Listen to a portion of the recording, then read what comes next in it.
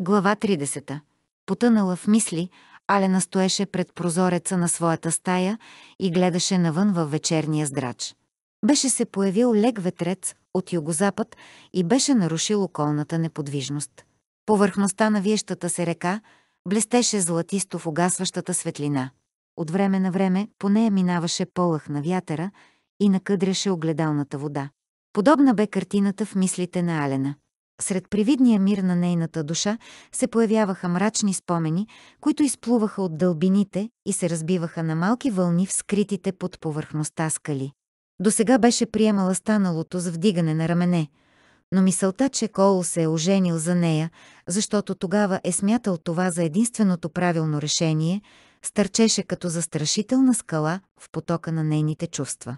Тя опрекваше Коул, че я е използвал единствено заради взаимната изгода но все не успяваше да го накара да почувства справедливия и гняв, който по нейно мнение той заслужаваше. Стъжна въздишка Алена отново се зае с прекъснатия си туалет. Докато се мъчеше да се справи с малките блестящи копченца на жълтата си рокля от тъфта, тя пожела Коул да е до нея, за да й помогне. Но адвокатът от Пенсилвания бе пристигнал скоро, след завръщането им от Сейнт Клауд, и Кол веднага се оттегли с него в кабинета си. Обзета от лошо настроение, Алена махна стола, с който беше подпряла бравата на вратата, намираща се на отсрещната стена на банята. Това беше съвсем излишно, тъй като от съседната стая не долиташе и най-малкият шум. Някакъв часовник удари с ясен звън половин час. Изненадана, Алена погледна към полицата над камината. През деня някой трябва да е поставил там богато украсения часовник, без нейно знание. Едва доловим шум край вратата я накара да се обърне. Косите й настръхнаха, но нямаше никой. Бързо взе една лампа и изтича в коридора да провери.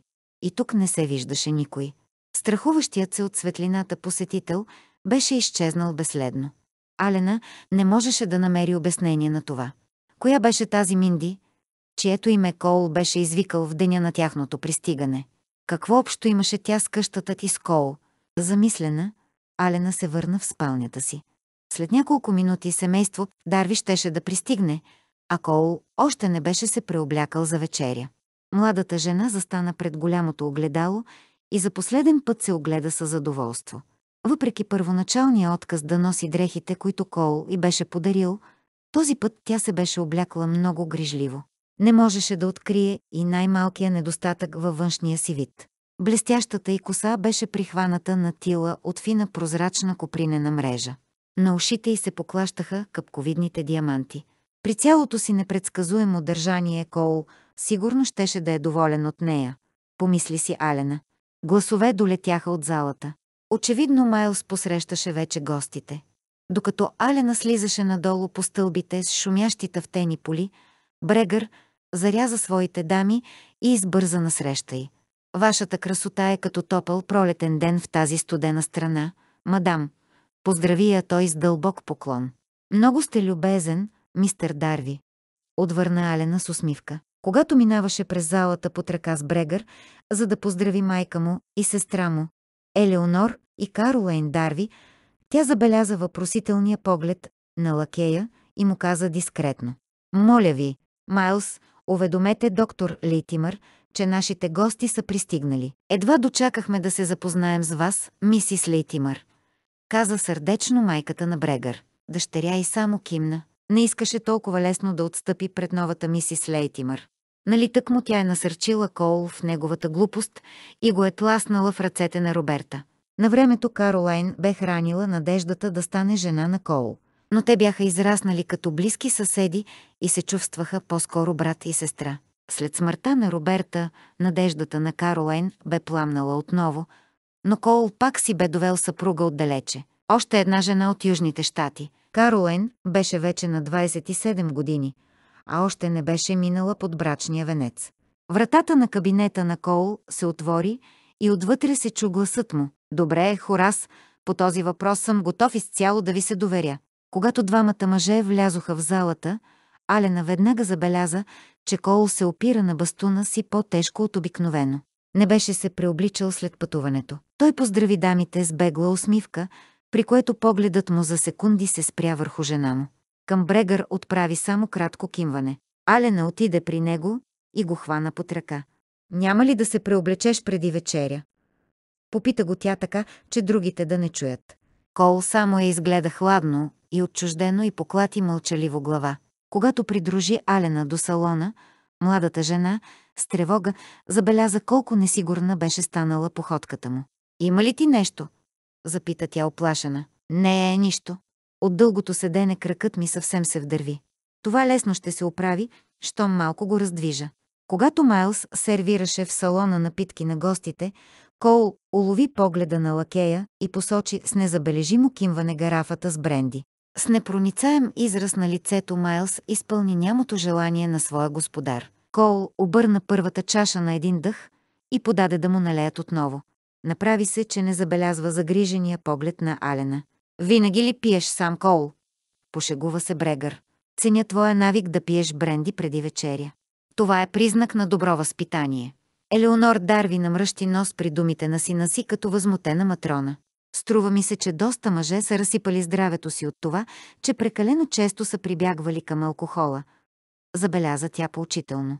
За щастие в този момент се появи лакеят и обяви, че вечерята е сервирана. Алена се изправи с облегчение, хвана мъжа си под ръка и тръгна пред гостите към трапезарията, както подобаваше на изискана домакиня. Адвокатът мистер Бър предложи ръката си на мисис Дарви, а Брегър, ще не ще, трябваше да се задоволи с сестра си. В замяна на това на масата беше настанен до домакинята. Кол седеше на другия край на дългата маса. В погледа му се четеше неприкрит яд и Алена се питаше с какво този път си е навлякла гнева му. Може би защото Брегър седеше толкова близо до нея и непрекъснато я обсипваше с комплименти. При Ордьовъра разговорът вървеше едва-едва. Говореше се за повече или по-малко незначителни неща. Но накрая Елеонор Дарви не можа да обоздае своето любопитство и подхвана тема, която от дълго време я занимаваше. Кол, ти още не си ни разказал как всъщност се стигна до вашата женитба. Честно казано, и до сега не мога да проумея как е бил сключен този брак в твое отсъствие. Всичко е законно, нали?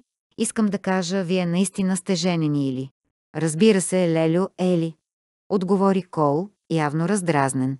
Но ако не ми вярваш, мистер Бър може да го потвърди. Все пак той е адвокат. Така е. Побърза да ги увери Хорас Бър. Сключването на брака е извършено съгласно всички изисквания на закона. Но какво казаха вашите родители за това? Те не биха ли предпочели обичайната женитба с венчаване в църква? Мисис Лейтимър. Осведоми се старата дама, обръщайки се към Алена. Моите родители не са между живите, мадам.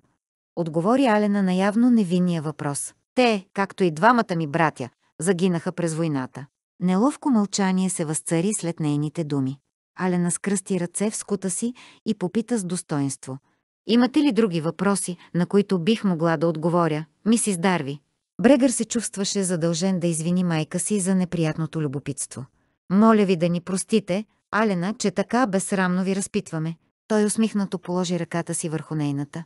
Младата жена му отвърна с благодарна усмивка, но когато видя как Кол мрачно се бе втренчил пред себе си на другия край на масата, веднага стана сериозна. Очевидно нейният мъж не одобряваше нищо от това, което Брегър вършеше или казваше. Тя направо не можеше да повярва, че той ревнува, защото беше много по-мъжествен, а и изглеждаше много по-добре от Брегър. Трябваше да има и нещо друго за цялата работа. Не е възможно Кол да се е оженил за вас само от чувство за дълг, Алена. Продължи да бърбори Брегър.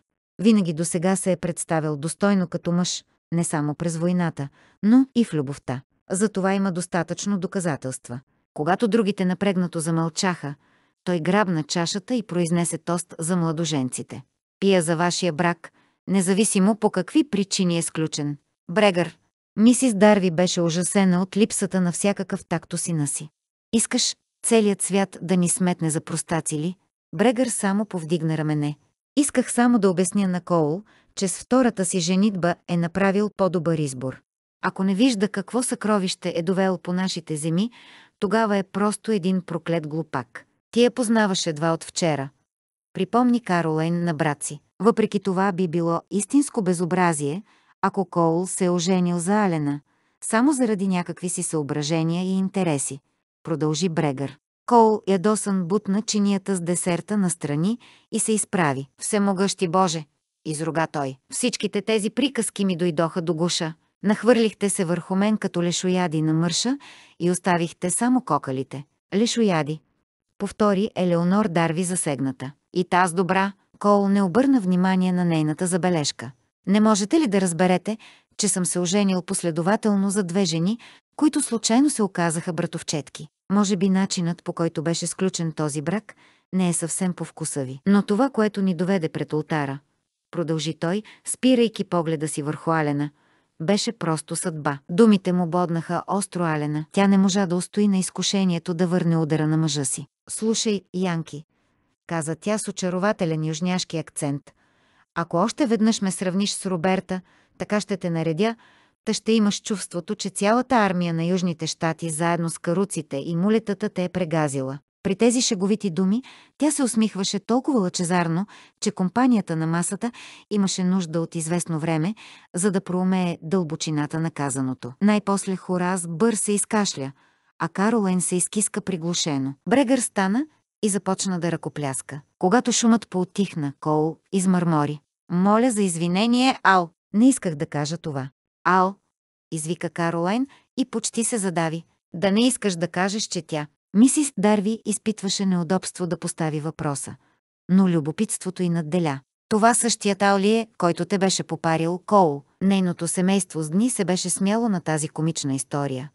А ето, че виновницата за всичко това се намираше пред тях. Кол отново беше седнал и погледът му мрачно се местеше от един на друг. Точно така. Тогава Алена се беше преоблякла като момче и се наричаше Ал. Узнах това, едва когато вече се бях оженил за Роберта. Алена погледна усмихнато присъстващите и запита с престорена наивност. Кол, разправял ли вие какво се случи в конюшнята? А историята с коритото за вода?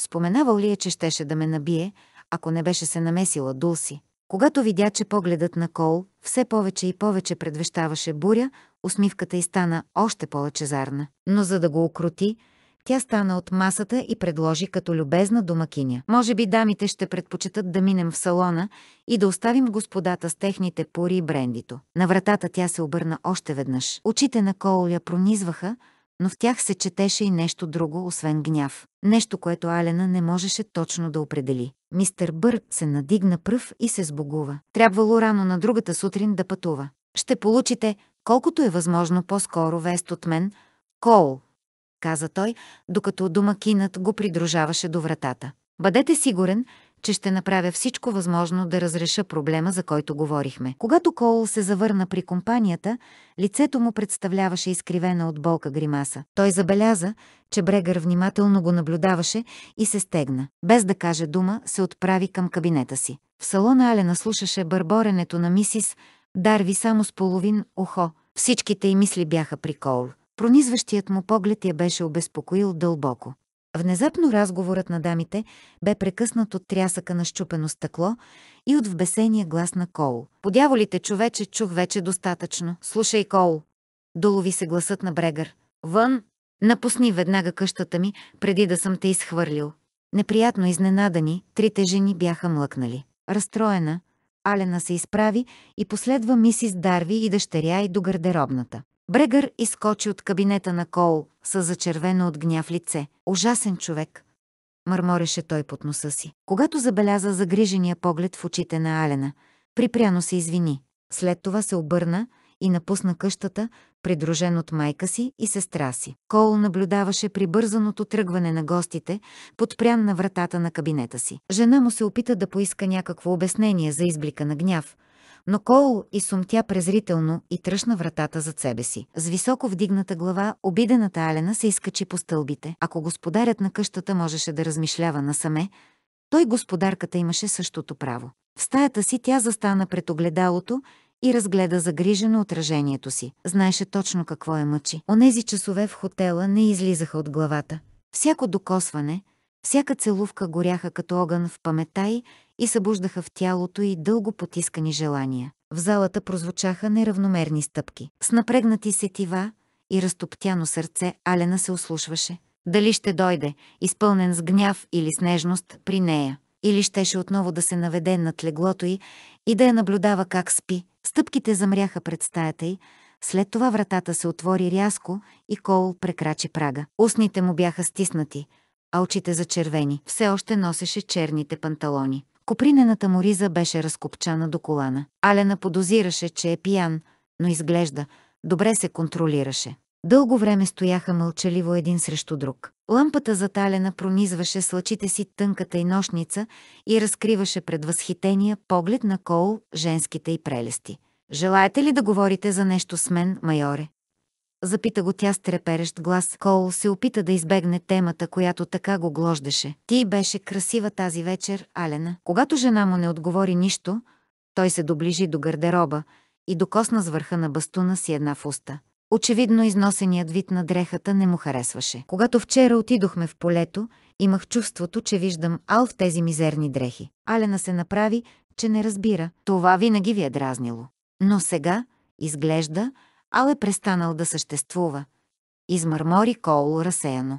Наистина ли мислите така, майоре? Това обращение унищожи и последния остатък от самообладанието на Коул. Подяволите Алена, Изрева той с такава сила, че младата жена потрепери. Той дръпна и другата врата на гардероба и гневно посочи съдържанието му. Там висят куп изящни рокли, а ти се обличаш с парцали. Точно така, сър. Дрехите може да са мизерни, но са си мои. Нима тази вечер ви разочаровах. Нима не проявих уважение към гостите. Не, разбира се, че не. Махна ядосано с ръка Коул. Ти правеше чест на дума ми. Въпреки това ми се струва, че с нещо съм предизвикала вашето недоволство продължи Алена успокоена. През цялата вечер имахте толкова мрачен вид. Това беше само заради онзи проклет ласкател, който непрекъснато се усукваше наоколо ти. От първия ден си загуби ума по тебе, но аз нямам намерение да те деля с никого. Още не довършил думите си, Кол вече знаеше, че се е изтървал като последен глупак. Алена беше скочила и го гледаше, пламнала от гняв. Не бива да се безпокоите за това, доктор Лейтимър. Аз не съм жена, която се захласва по всеки мъж. Ядосана, тя закрачи напред-назад из стаята и попита с хъплива подигравка. Що за човек сте вие? Какво ви скимна да поканите хора на вечеря, а след това просто да ги изхвърлите? Вашите маниери, като домакин, трудно могат да се нарекат безупречни. Държахте се като магаре. Коул я прекъсна гневно. Аз посочих вратата само на Брегър. Защо го мразите толкова? Да не би случайно причината да е в това, че за разлика от вас той все още практикува професията си на лекар.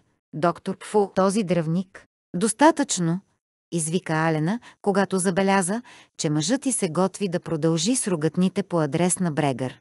Но Кол не можеше да бъде спрян. Ако останеше на него, отдавна да е отрязал проклетия ми крак. Казах, престанете, извика Алена, докарана до границата на самообладанието си. Пет пари не давам за вашите долни клеветнически излияния. Пълен сте с омраза и злоба. Кол се засмя цинично. Роберта, и ти имате повече общи неща, отколкото ти се ще да признаеш. Злоба и омраза. Колко често съм слушал тези думи от нея. Вие сте от един дол дренки с твоята братовчетка. Гласът на Кол беше прегракнал и почти пресекваше. Жестока борба кипеше в гърдите му. С голяма мъка успяваше да обоздае плътското си желание към Алена. С каква радост би удавил тази отвратителна препирня в страстна прегръдка. Въпреки това, той продължи. В едно нещо обаче превъзхождаш братовчетка си. Тя обещаваше неща, които не можеше да даде, а ти ми отказваш това, което можеш да дадеш. Чашата преля. Извън себе си от възмущение, Алена пристъпи към Кол. Предупредих ви да не ме сравнявате с Роберта, проклет Янки. Аха, сега играеш ролята на невинна девица. Но едва що Роберта си отиде и се яви ти. Да се омотае проклетият Янки, да се примами синята куртка в капана, да се притисне до стената. Колко ти плати тая кучка Роберта, за да прехосаш девствеността си с мен, чу се силно изплющяване. Алена бе ударила на Кол звучна плесница. Преди да успее да си отдръпне ръката, той я сграбчи за китката. Следващия миг Устните му се впиха в устата й. Той я притисна бурно и задуши всички нейни протести с брутална целувка. Дълго потисканото желание си проправи път с всичка сила. Той повдигна Алена, докато тя почувства между бедрата си властния напор на неговата мъжественост. Пламенната му атака прониза Алена като огън. Останала без дъх. Тя беше неспособна да мисли трезво. Липсваше и както волята, така и желанието да отблъсне Кол от себе си. Но той внезапно я пусна. Тя политна назад и си пое дълбоко въздух. Всичкият ти гняв се беше изпарил. Това трябва да ви е за урок, мадам. Задъхано и с прегракнал глас каза Кол. До сега търпях този ненормален брак, но вече край на всичко. Ти ми принадлежиш и аз ще те имам където и когато поискам. Но ние се споразумяхме. Където и когато поискам. Повтори Кол натъртено. След това се наведе за бастуна си, излезе от стаята и затвори вратата след себе си. Але накрачеше като сумнамбул напред-назад из стаята си. Скъси фитила на газената лампа, докато спалнята се изпълни с дълбоки сенки. Както беше с дрехите, тя се пъхна под завивките и се сви на кълбо, но дълго време не можеше да заспи. Споменът за възбудата на Кол твърде силно се беше врязал в паметта й. Едва в ранните сутрешни часове дрямката се смили над младата жена и я освободи от мъчителните мисли. Глава 31. Утринните мъгли още се влачеха из долината, когато Алена се надигна и грижливо се облече.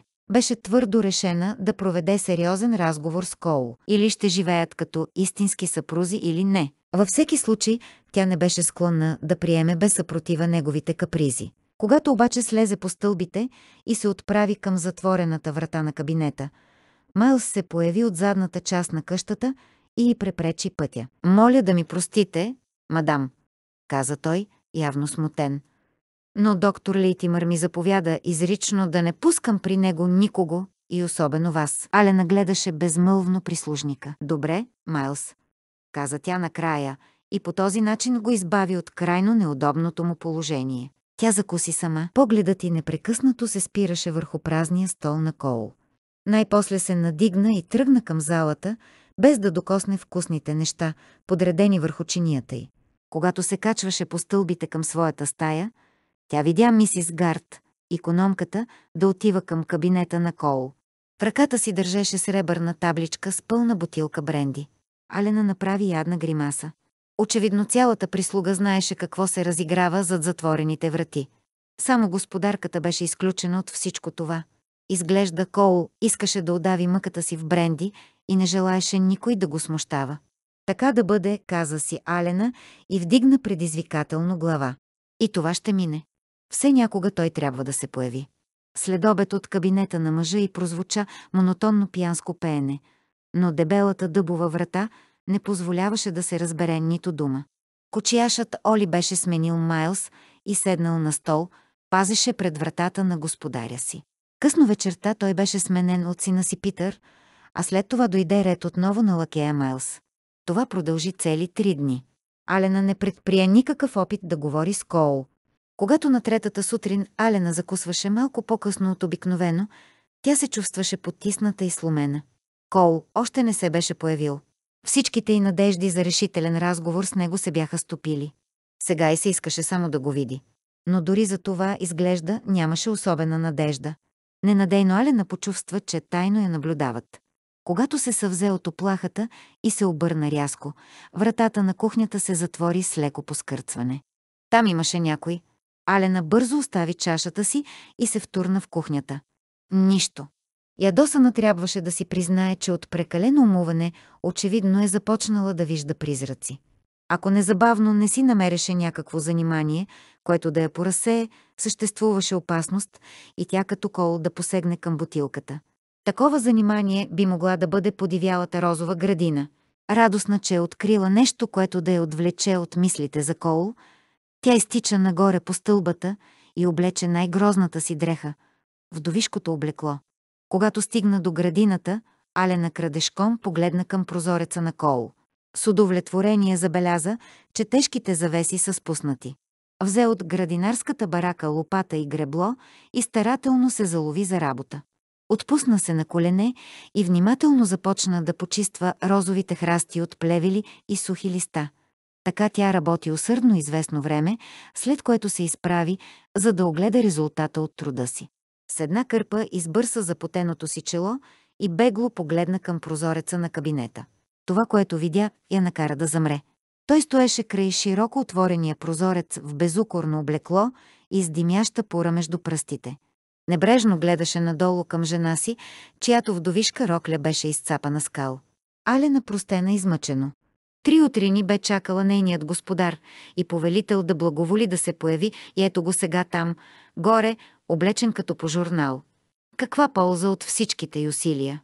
С леко изтракване Коул затвори прозореца и изчезна от погледа й.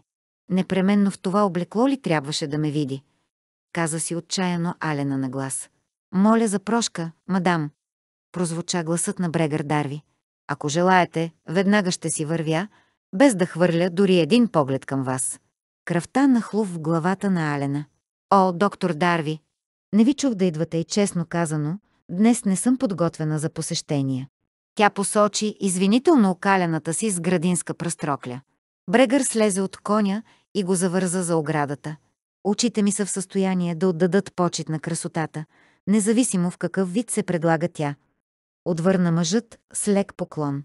За секунди Алена го гледаше объркана, но след това схвана комплимента и с усмивка се включи в играта. Много сте галантен, сър, отговори тя с реверанс. И думите ви радват сърцето ми повече от този прелестен августовски ден. Ако и зимата е също такава, страховете ми за тукашния климат са били неоснователни.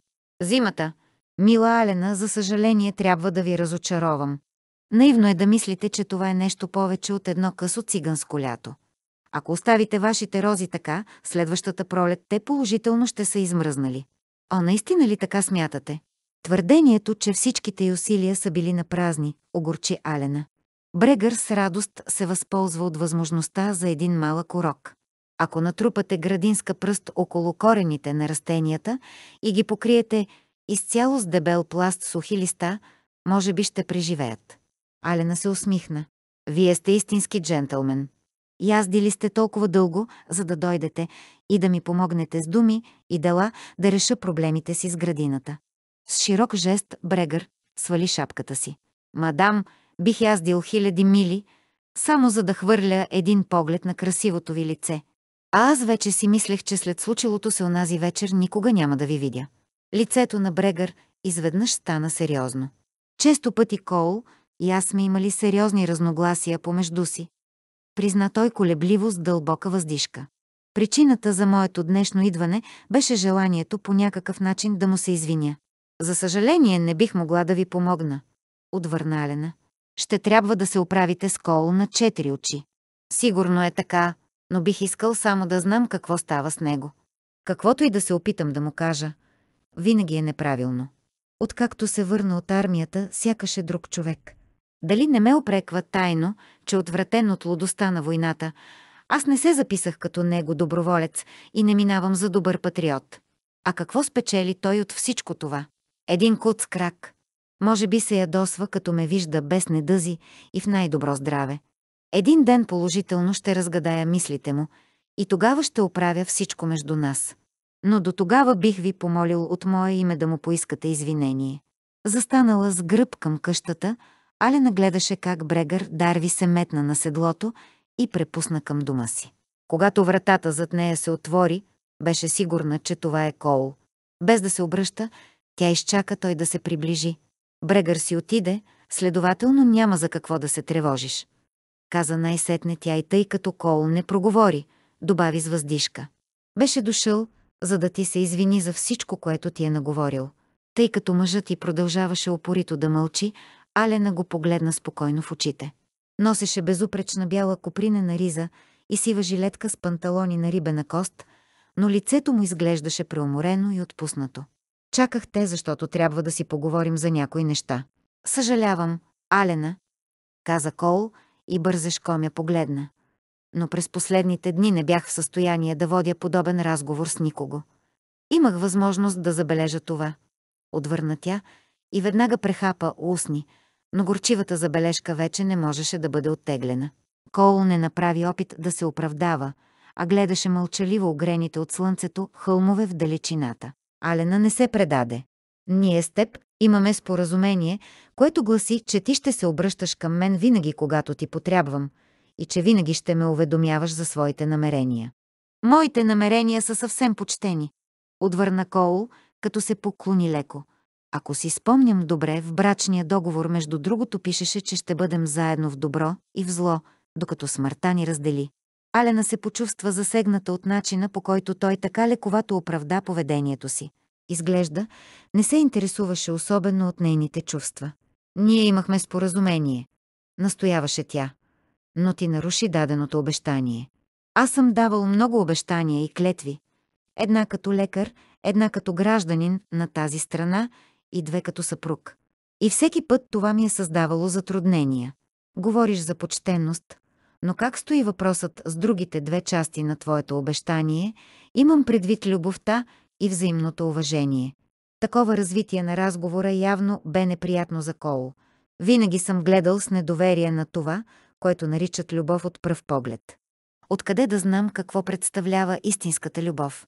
Когато мъж и жена взаимно се разбират, тогава любовта помежду им започва да расте и с течение на времето става все по-голяма. Алена не можеше повече да се въздържа. Потиснатите чувства и разочарования се изляха в поток от думи. При всичкото уважение, което ти дължа, намирам, че говориш като сляп глупак, който нищо не знае. Едно семе с години може да лежи в цепнатината на някоя скала, но когато вятърът го отвее върху топла, влажна почва, от него може да израсте могъщ дъб, който да надживее столетията. Така е и с любовта. Тя трябва да бъде подарена на другия, да бъде споделена с него, за да расте, а не да се провали безславно. Очите на Алена блестяха, на лицето й бе отразена цяла гама от дълбоки чувства, когато продължи, изпълнена с страст. Ти, напротив, си като буреносен облак в зноен летен ден. Ти се сърдиш, гърмиш и вдигаш много шум. Мяташ мълнии, пред които бедното, беззащитно създание се крие. Но докато този облак не излее своя дъжд, земята си остава суха и безплодна, каквато е била винаги преди това. Каква полза тогава от всичките превземки и всичкия шум, ако с тях не може да се постигне нищо добро? Преди Кол да успее да направи някаква снисходителна забележка, Алена просто го остави и изчезна с развята рокля в къщата. Той я последва в залата и я видя точно когато изчезваше от погледа му нагоре по стълбата. Веднага след това се чу как Алена умишлено затръшна с все сила вратата на спалнята след себе си. Майлс от неудобство избягваше да погледне към своя господар, но Коул смъка успя да потисне усмивката си. Майлс, кажете, моля ви, на Питър да занесе гореща вода на мисис Лейтимър. Тя несъмнено се нуждае от баня. Веднага, сър. Желаете ли сега да се сервира закуската ви, сър? Коул кимна утвърдително и по лицето на прислужника премина израз на облегчение. Ани много ще се зарадва, сър. Позволи си да отбележи Майлс. Коул седна на масата за хранене и остави мисис Гард да му сервира горещо кафе с малко бренди в него. До закуската изобщо не се допря. Той мислеше върху думите на Алена и беше склонен да се съгласи с тях. От всичко, което тя беше казала, извираше една природна мъдрост, която съвсем не подхождаше на младостта й. Коул и преди беше имал случай да се убеди, че в хубавата главичка на Алена се крие ясен и пъргав ум. Едно ядно възклицание на жена му го накара да се изтръгне от своята замисленост. Тък му се надигаше, за да види какво става, когато тя изтича към него. В следващия миг възмутено му хвърли в скута вечерната си рокля в жълто и черно. Застана отпред и размаха гневно малък юмрук пред носа му. Противен Янки! Изсъска тя. По-скоро ще ходя гола, отколкото да облека някоя от твоите дрипи. Кол можеше да види как сивите очи на Алена буквално изкрят от гняв. Не бих имал нищо против, мадам, каза той спокойно. Но първо искам да разбера какво точно се е случило. С рязко движение, при което Кол се приготви за нещо по-лошо, Алена дръпна роклята от скута му и я разгърна пред очите му, така че да може да види големите дубки от изгорено върху горната част на полата. Наистина ли мислиш, че мога да направя такова нещо? Попита Коул ядосано. Не съм аз, по дяволите. Алена гледаше роклята и смъка сдържаше сълзите си. Колко се беше надявала да му хареса с нея. Алена! Когато видя замъглените и от сълзи очи, гневът на Кол се изпари със същата бързина, с която беше се надигнал – не мога да си представя някой в тази къща да стори такова нещо. Да не би вятърът да е отвял роклята в камината. В камината нямаше огън. Прошепна тя тихо. Някой е подпалил няколко трески борина и е сложил роклята отгоре. Моля те, повярвай ми, че не съм способен на такава постъпка. настояваше Кол. Но кой би могъл да бъде? Имаш ли някаква представа? Какво значение има? Алена говореше толкова тихо, че Кол трябваше да напрегне слуха си, за да разбира думите й. Беше една от най-хубавите ми рокли. Мисис Холтърн ми помогна да си я купя. Гласът ти пресекна и тя се обърна, хълцайки. Исках да се гордееш с мен. Със собствени сили, без твоя помощ, исках да се явя така пред теб. Кол се беше примирил с истериите на Роберта и те бяха станали постоянна съставна част от живота му с нея. Но гледайки сълзите на тази крехка, малка жена, той се чувстваше несигурен и безпомощен. И сега какво? Мисълта прониза мозъка му. Кажи нещо, за да я разсееш. Всичко друго би било по-добро от тези сълзи. Какво виждат очите ми? Каза той шеговито и успокоително. Това ли е същият човек, който в разгара на войната ме измъкна от реката и ме спаси от удавене? Това ли е същият Ал, който сега пролива сълзи за една изгорена рокля? Алена го погледна право в очите и в същия миг Коул разбра каква грешка е допуснал. Аз бях младо момиче с коси до кръста. Бях възпитана в добро семейство като истинска дама. Алена си пое дълбоко въздух, за да се справи с дълбоката болка в душата си. Всички са мъртви. Последна погребах майка си. След това трябваше да отрежа хубавата си коса и да си нацапам лицето. Трябваше да ходя във вонящи дрехи, да говоря и да се бия като някакъв нехрани майко. И през всичкото това време трябваше да слушам приказките ти, че имам належаща нужда от баня. А и без това се чувствах толкова мръсна, че ми идеше да умра. Алена се наведе над Коул и го погледна в очите. Не разбираш ли? Все още ли не го знаеш? Никога не е имало Ал. Това бях аз. Винаги съм била Алена. Ал никога не го е имало. При тези думи тя се разплака неудържимо, грабна изгорената рокля и избяга от стаята. Кол остана сам. Мълчанието легна тежко върху него. Глава 32.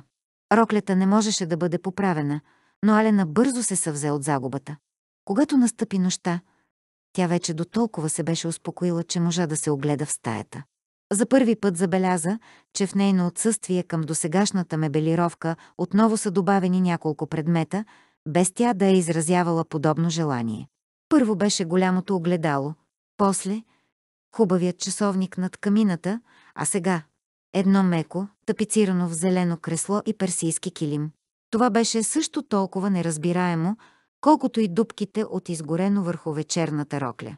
През нощта премина силна буря, която смъкна последните есенни листа от дърветата.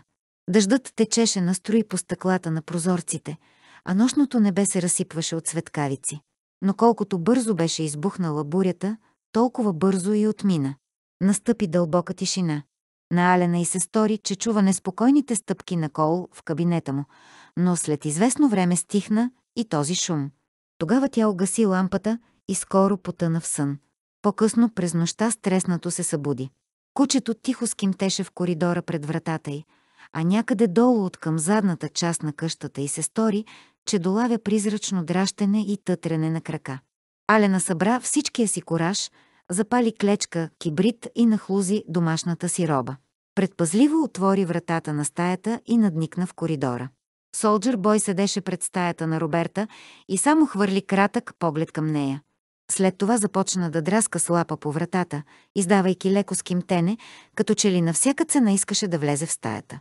Хайде, ела, Солджер. Повика го тихо Алена. Там няма никой. Солджер изръмжа леко, сякаш не беше на същото мнение. Тогава Алена превъзмогна тревогата си и блъсна вратата към бившата спалня на Роберта. Кучето профуча покрай нея и взе да души из стаята, след това внезапно застана неподвижно с наведена глава и започна да се ослушва. Алена се огледа. Както винаги всичко беше на мястото си, само прозорецът беше широко отворен. Завесите се издуваха от нощния вятър и плющяха. Обедена, че е открила причината за цялата суматоха, Алена дълбоко въздъхна с облегчение. Тя повика Солджер, защото искаше колкото се може по-бързо да напусне стаята на Роберта, но кучето не искаше да я чуе. Душейки и скимтейки, то клекна пред част от стената, която беше облицована с квадратни плочки от огледално стъкло. Тази огледална стена беше обрамчена с драперия от червено кадифе. Кучето стоеше като заковано пред нея и се бе втренчило в отражението си, сякаш бе открило нов представител на своята раса. Марш навън, солджер. Скара му се Алена. Веднага излизай от тук. Кучето подви опашка и с нежелание се запъти към вратата. Алена си легна отново, но трябваше да мине много време, преди да се успокои и отново да заспи. На следващата сутрин тя не се яви в обичайния час на закуска и когато господарят на дома се осведоми за причината, получи от камериерката оклончив отговор, че господарката днес не се чувства добре. Тогава Кол реши лично да провери как стоят нещата. Почука леко на вратата. Когато долови отвътре неразбираемо мърморене, влезе в стаята. Алена седеше по нощница с подвити крака в креслото. Като видя съпруга си, тя закри лицето си с шала, сякаш се преструваше, че не забелязва неговото присъствие. Кол веднага усети колко студено беше в спалнята. Огънят в камината беше угаснал и силният вятър явно беше изтеглил всичкия топъл въздух през комина. Трябваше да извикаш някого да оправи огъня, Алена. Скарай се меко Кол. В тази стая можеш да измръзнеш до смърт. Без да отговори, Алена се сви още по-дълбоко в креслото. Тя чу как той отиде до камината и започна да нагласява клапата, която регулираше тягата. Правилно ли съм разбрал, че днес не се чувстваш добре? Осведоми се мъжът ти. А, нищо особено, измърмори Алена. Помислих си, че все още ти е мъчно за роклята. Вече се примирих с това. Ако искаш някаква компенсация, лесно ще го уредим. Познавам един дамски шивач, който сигурно ще може да намери същия плат. Благодаря, но ще се оправя и без тази рокля. Имам още няколко, макар и не толкова хубави. Кол търсеше начин да преодолее сковаността на този учтив, но безсмислен разговор. Смятах да отида малко на езда. Не би ли искала да ме придружиш? Алена повдигна единия край на шала, който беше на главата й, и изпитателно погледна към Кол. Съжалявам много, но днес не съм в състояние. Кол почти изгуби търпение. Прекалено добре си спомняше колко често Роберта симулираше някакво неразположение. Ако имаш главоболие, мога да повикам Ани да донесе малко лед. Ледът намалява болката. Главата ми е добре, отвърна Алена, като подчерта ясно думата глава. Кол постави ръка върху челото й. Шалът падна от главата на Алена. Тя е досано го стрелна с очи. Температура също нямам. Тогава не мога да ти помогна, каза Кол огрижено. Някои мъже толкова ли не могат да си представят какво означава да си жена? Алена леко се беше изчервила. Очевидно и беше неприятно, че я принуждават да дава обяснения. Толкова малко ли познаваш жените, че не можеш да отгаднеш, защо днес не се чувствам добре. Кол най-сетне разбра и направи всичко възможно, за да прикрие веселата си усмивка. Моля да ме извиниш, че веднага не открих причината за твоето неразположение. Каза той тактично. Нормално би било като съпруг това да не ми обегне, но тъй като ние двамата водим малко странен брачен живот, до някъде мога да бъда извинен. Остави ме сама. Простена измъчено Алена. Защо идваше при нея винаги, когато нещо не беше вред? Никога ли няма да я види като горда дама, изпълнена с достоинство и благородно държание? Ще те оставя сама, след като се погрижа за тебе, каза Коул, отиде в собствената си спалня и се върна веднага с бутилка бренди. Наля една глътка в чашата и я поднесе на Алена, която я поесна мръщено от отвращение носле. Мисля, че е по-добре да остана трезва и да изтърпя всичко в самота. Хайде, изпи го, ободри я Кол. Като лекар мога да те уверя, че брендито е най-доброто лекарство за твоето състояние. Алена подуши недоверчиво чашата. Смятах, че окончателно си закачил професията си на пирона. Как бих могъл да устоя на изкушението при толкова симпатична пациентка, която изцяло е оставена в ръцете ми? Отвърна той засмян и метна топло одеяло върху скута й. Ще позволи ли твоята гордост да ти донеса нещо от града? Какво ще кажеш, например, за котия бомбони? Неговото съблазнително предложение накара Алена да забрави яда си. От години не беше вкусвала бомбони.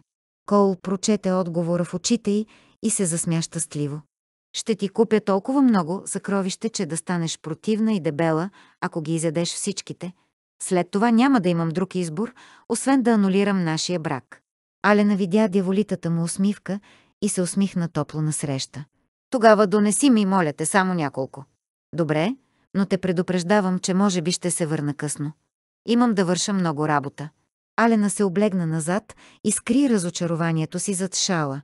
Кол разбра, че това е намек да си върви. Тръгна към вратата и каза. Днес вероятно ще вечерям в града. Така че няма нужда да ме чакаш. Алена дръпна шала пред лицето си. Най-вероятно е и аз да вечерям в стаята си. Следователно няма нужда да се тревожиш за неканени гости. В такъв случай за известно време ще имам спокойствие от Брегър Дарви и неговото внимание към теб. Отвърна Коул с бегла усмивка. Струва ми се, че вие имате някакъв особен двоен морал, майор Лейтимър. В Нью Орлианс просто ме взехте, защото ме сметнахте за леко момиче. Предполагам, оправдавате се с това, че се е касаело за задоволяване на телесна нужда. От друга страна, преценявате най-малкия флирт като срамно предателство и давате много шумен израз на своето възмущение. Има неща, които не можеш още да разбереш, Алена. Тук наистина сте прав, сър.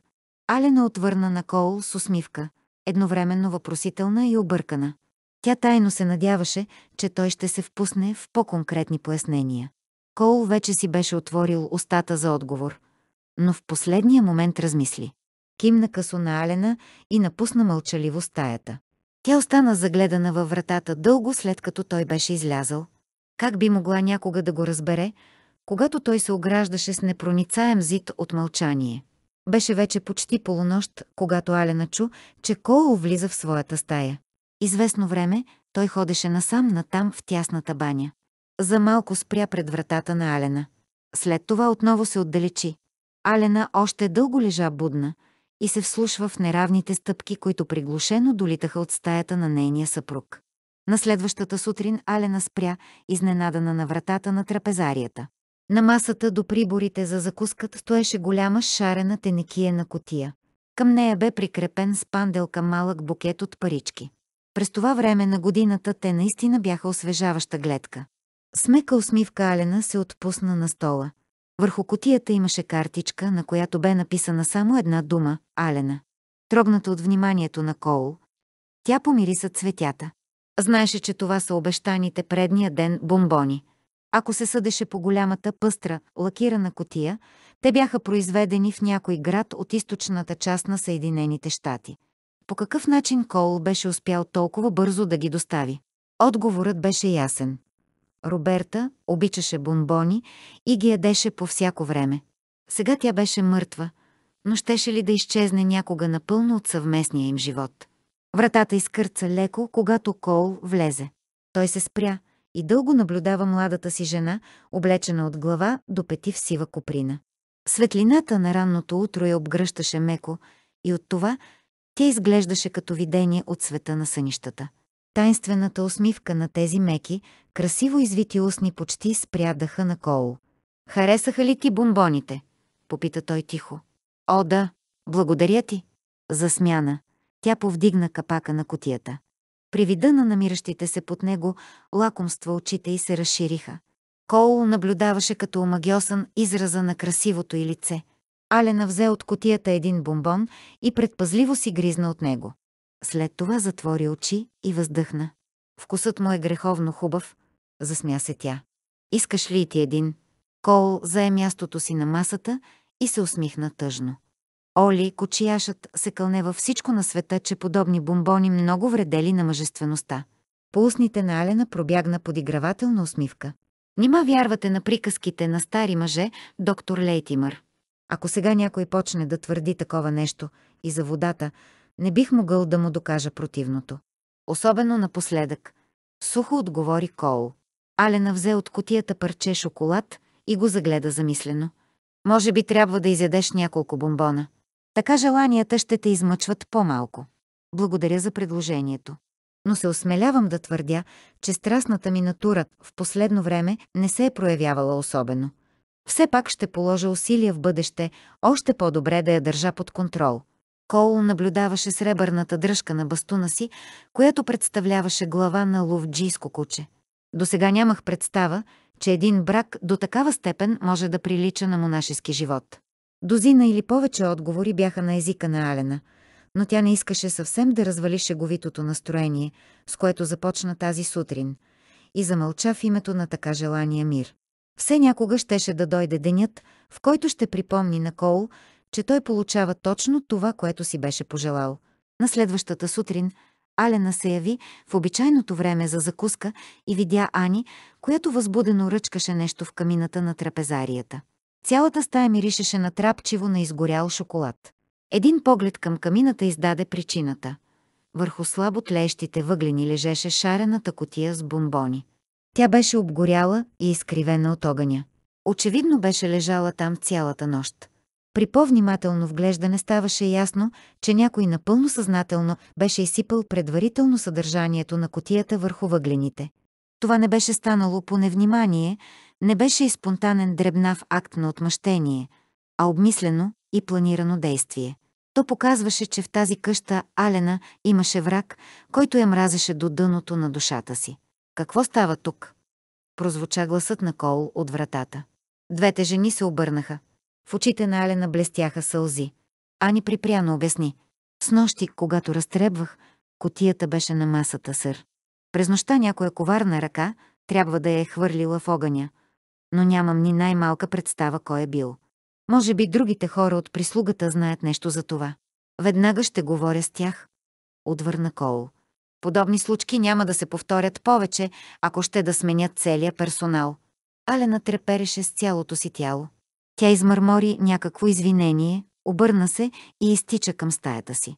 Загрижен, Кол я последва до залата. Видя да изчезва нагоре по стълбите. Но след няколко секунди чу изплашения и глас. Кол, моля те, би ли дошъл за момент? Кол забърза нагоре, доколкото му позволяваше раненият крак. Вътрешно беше подготвен за най-лошото. Но когато пристъпи в стаята на жена си и видя причината за нейното безпокойство, той се засмя с облегчение. На леглото лежеше котия с бомбони, подобна на изгорената, само че двойно по-малка. Тази е на Минди, каза Кол. Мисля, че без да подозираш, си си спечелила приятелка. Минди, това сигурно е някоя от твоите любовници, които криеш тук, под носа ми. Любовница, не ме карай да се смея, отвърна Кол с усмивка. Тя съвсем определено има нужда от любов, но не такава, за каквото мислиш. Струва ми се, че е време да се запознаеш с Минди. Хайде, Ела. С тези думи Кол хвана Алена за ръката и я помъкна въпреки съпротивата и надолу по стълбите към задния вход на кухнята по край слисаната прислуга. Той блъсна вратата и излезе навън. Огледа се бегло, след което каза на някого, когато Алена не можеше да види. Ето къде си била. Излез и престани да се криеш. Днес ще те запозная с новата господарка на къщата. Тя се казва Алена и е много симпатична млада дама.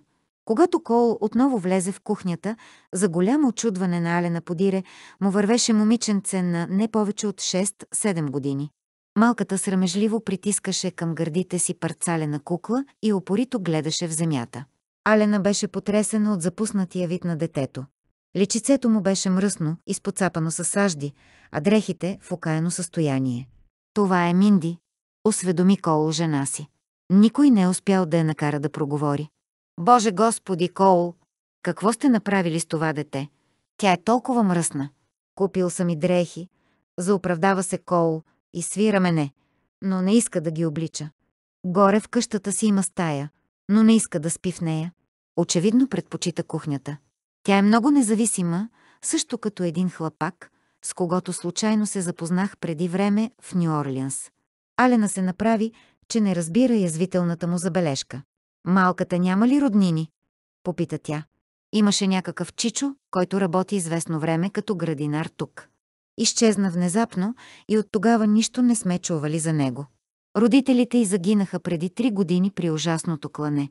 Продължи почти шепнешком Коул и направи знак да не говори повече на тази тема.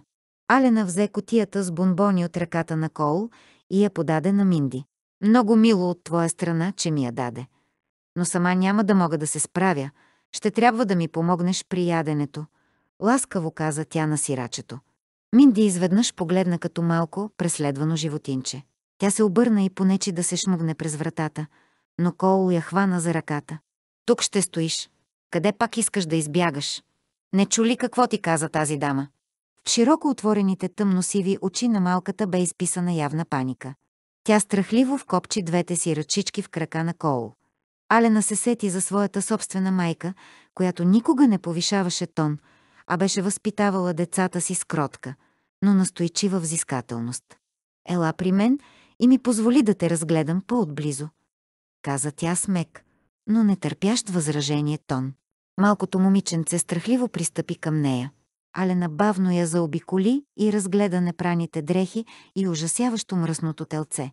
Накрая се изправи и погледна Коул право в очите.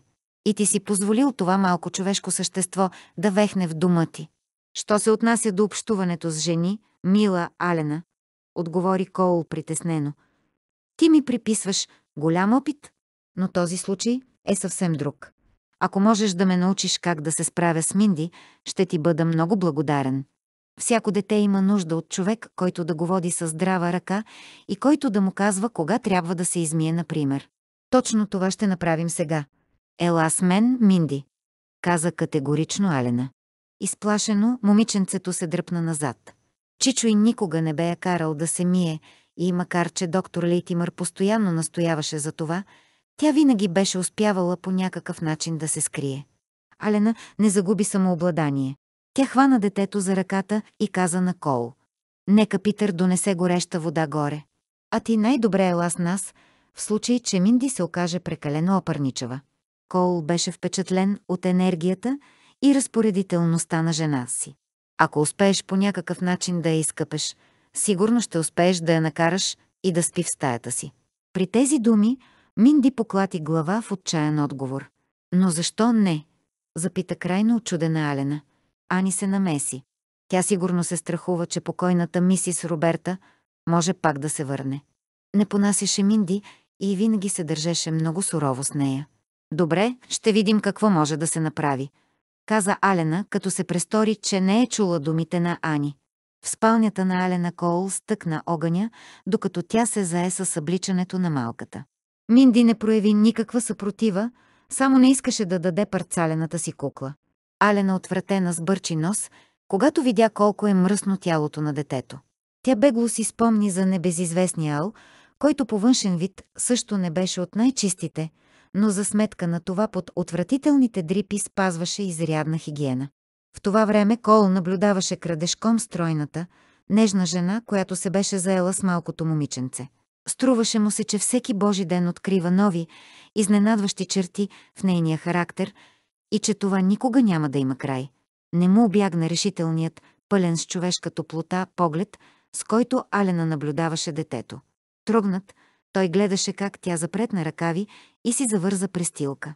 Това беше жена, която не се среща всеки ден.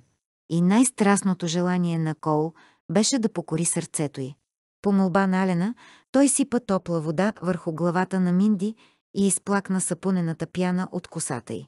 След известно време малката излезе от ваната розова и миришеща на хубаво. Алена я загърна в една хавлиена кърпа и разнежено се загледа как Кол вдигна момиченцето и го положи внимателно в скута си. Гардеробът в стаята на Минди беше претъпкан с нови дрехи, точно както беше казал Кол. Но когато Алена разгърна няколко от тях, си изненада видя, че всички, дори малките фусти и дантелени якички, бяха скъсани или нарязани по средата и след това грижливо сгънати и върнати по местата им, като че ли е трябвало всичко това да се скрие. Алена подбра няколко неща, които лесно можеха да се закърпят и се върна в стаята си. Докато решеше мократа спластена коса на момиченцето, тя се обърна полугласно към Коул. Всичките й дрехи нарочно са съсипани. Вероятно ти нищо не си забелязал, но във всеки случай това е била причината Минди да не иска да ги носи. В обувките и чорапите имаше магарешки тръни и масло. Доколкото можах, поизмих обувките. Кой ли е направил подобно грозно нещо? Роберта! Избухна Кол с мрачно лице.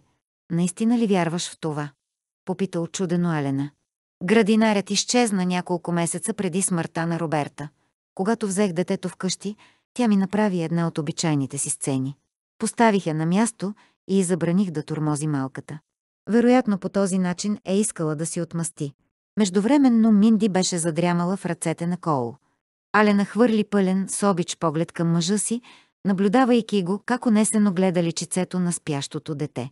Когато той вдигна очи, тя се почувства хваната на местопрестъплението и се изчерви леко. Всъщност, познаваше ли добре Чичуи? Попита го тя смутена. Беше не храни майко. Роберта и той бяха от един дол дренки. Веднъж за малко не го уволних, когато го заварих жестоко да бие момиченцето. За Минди положително е по-добре без него.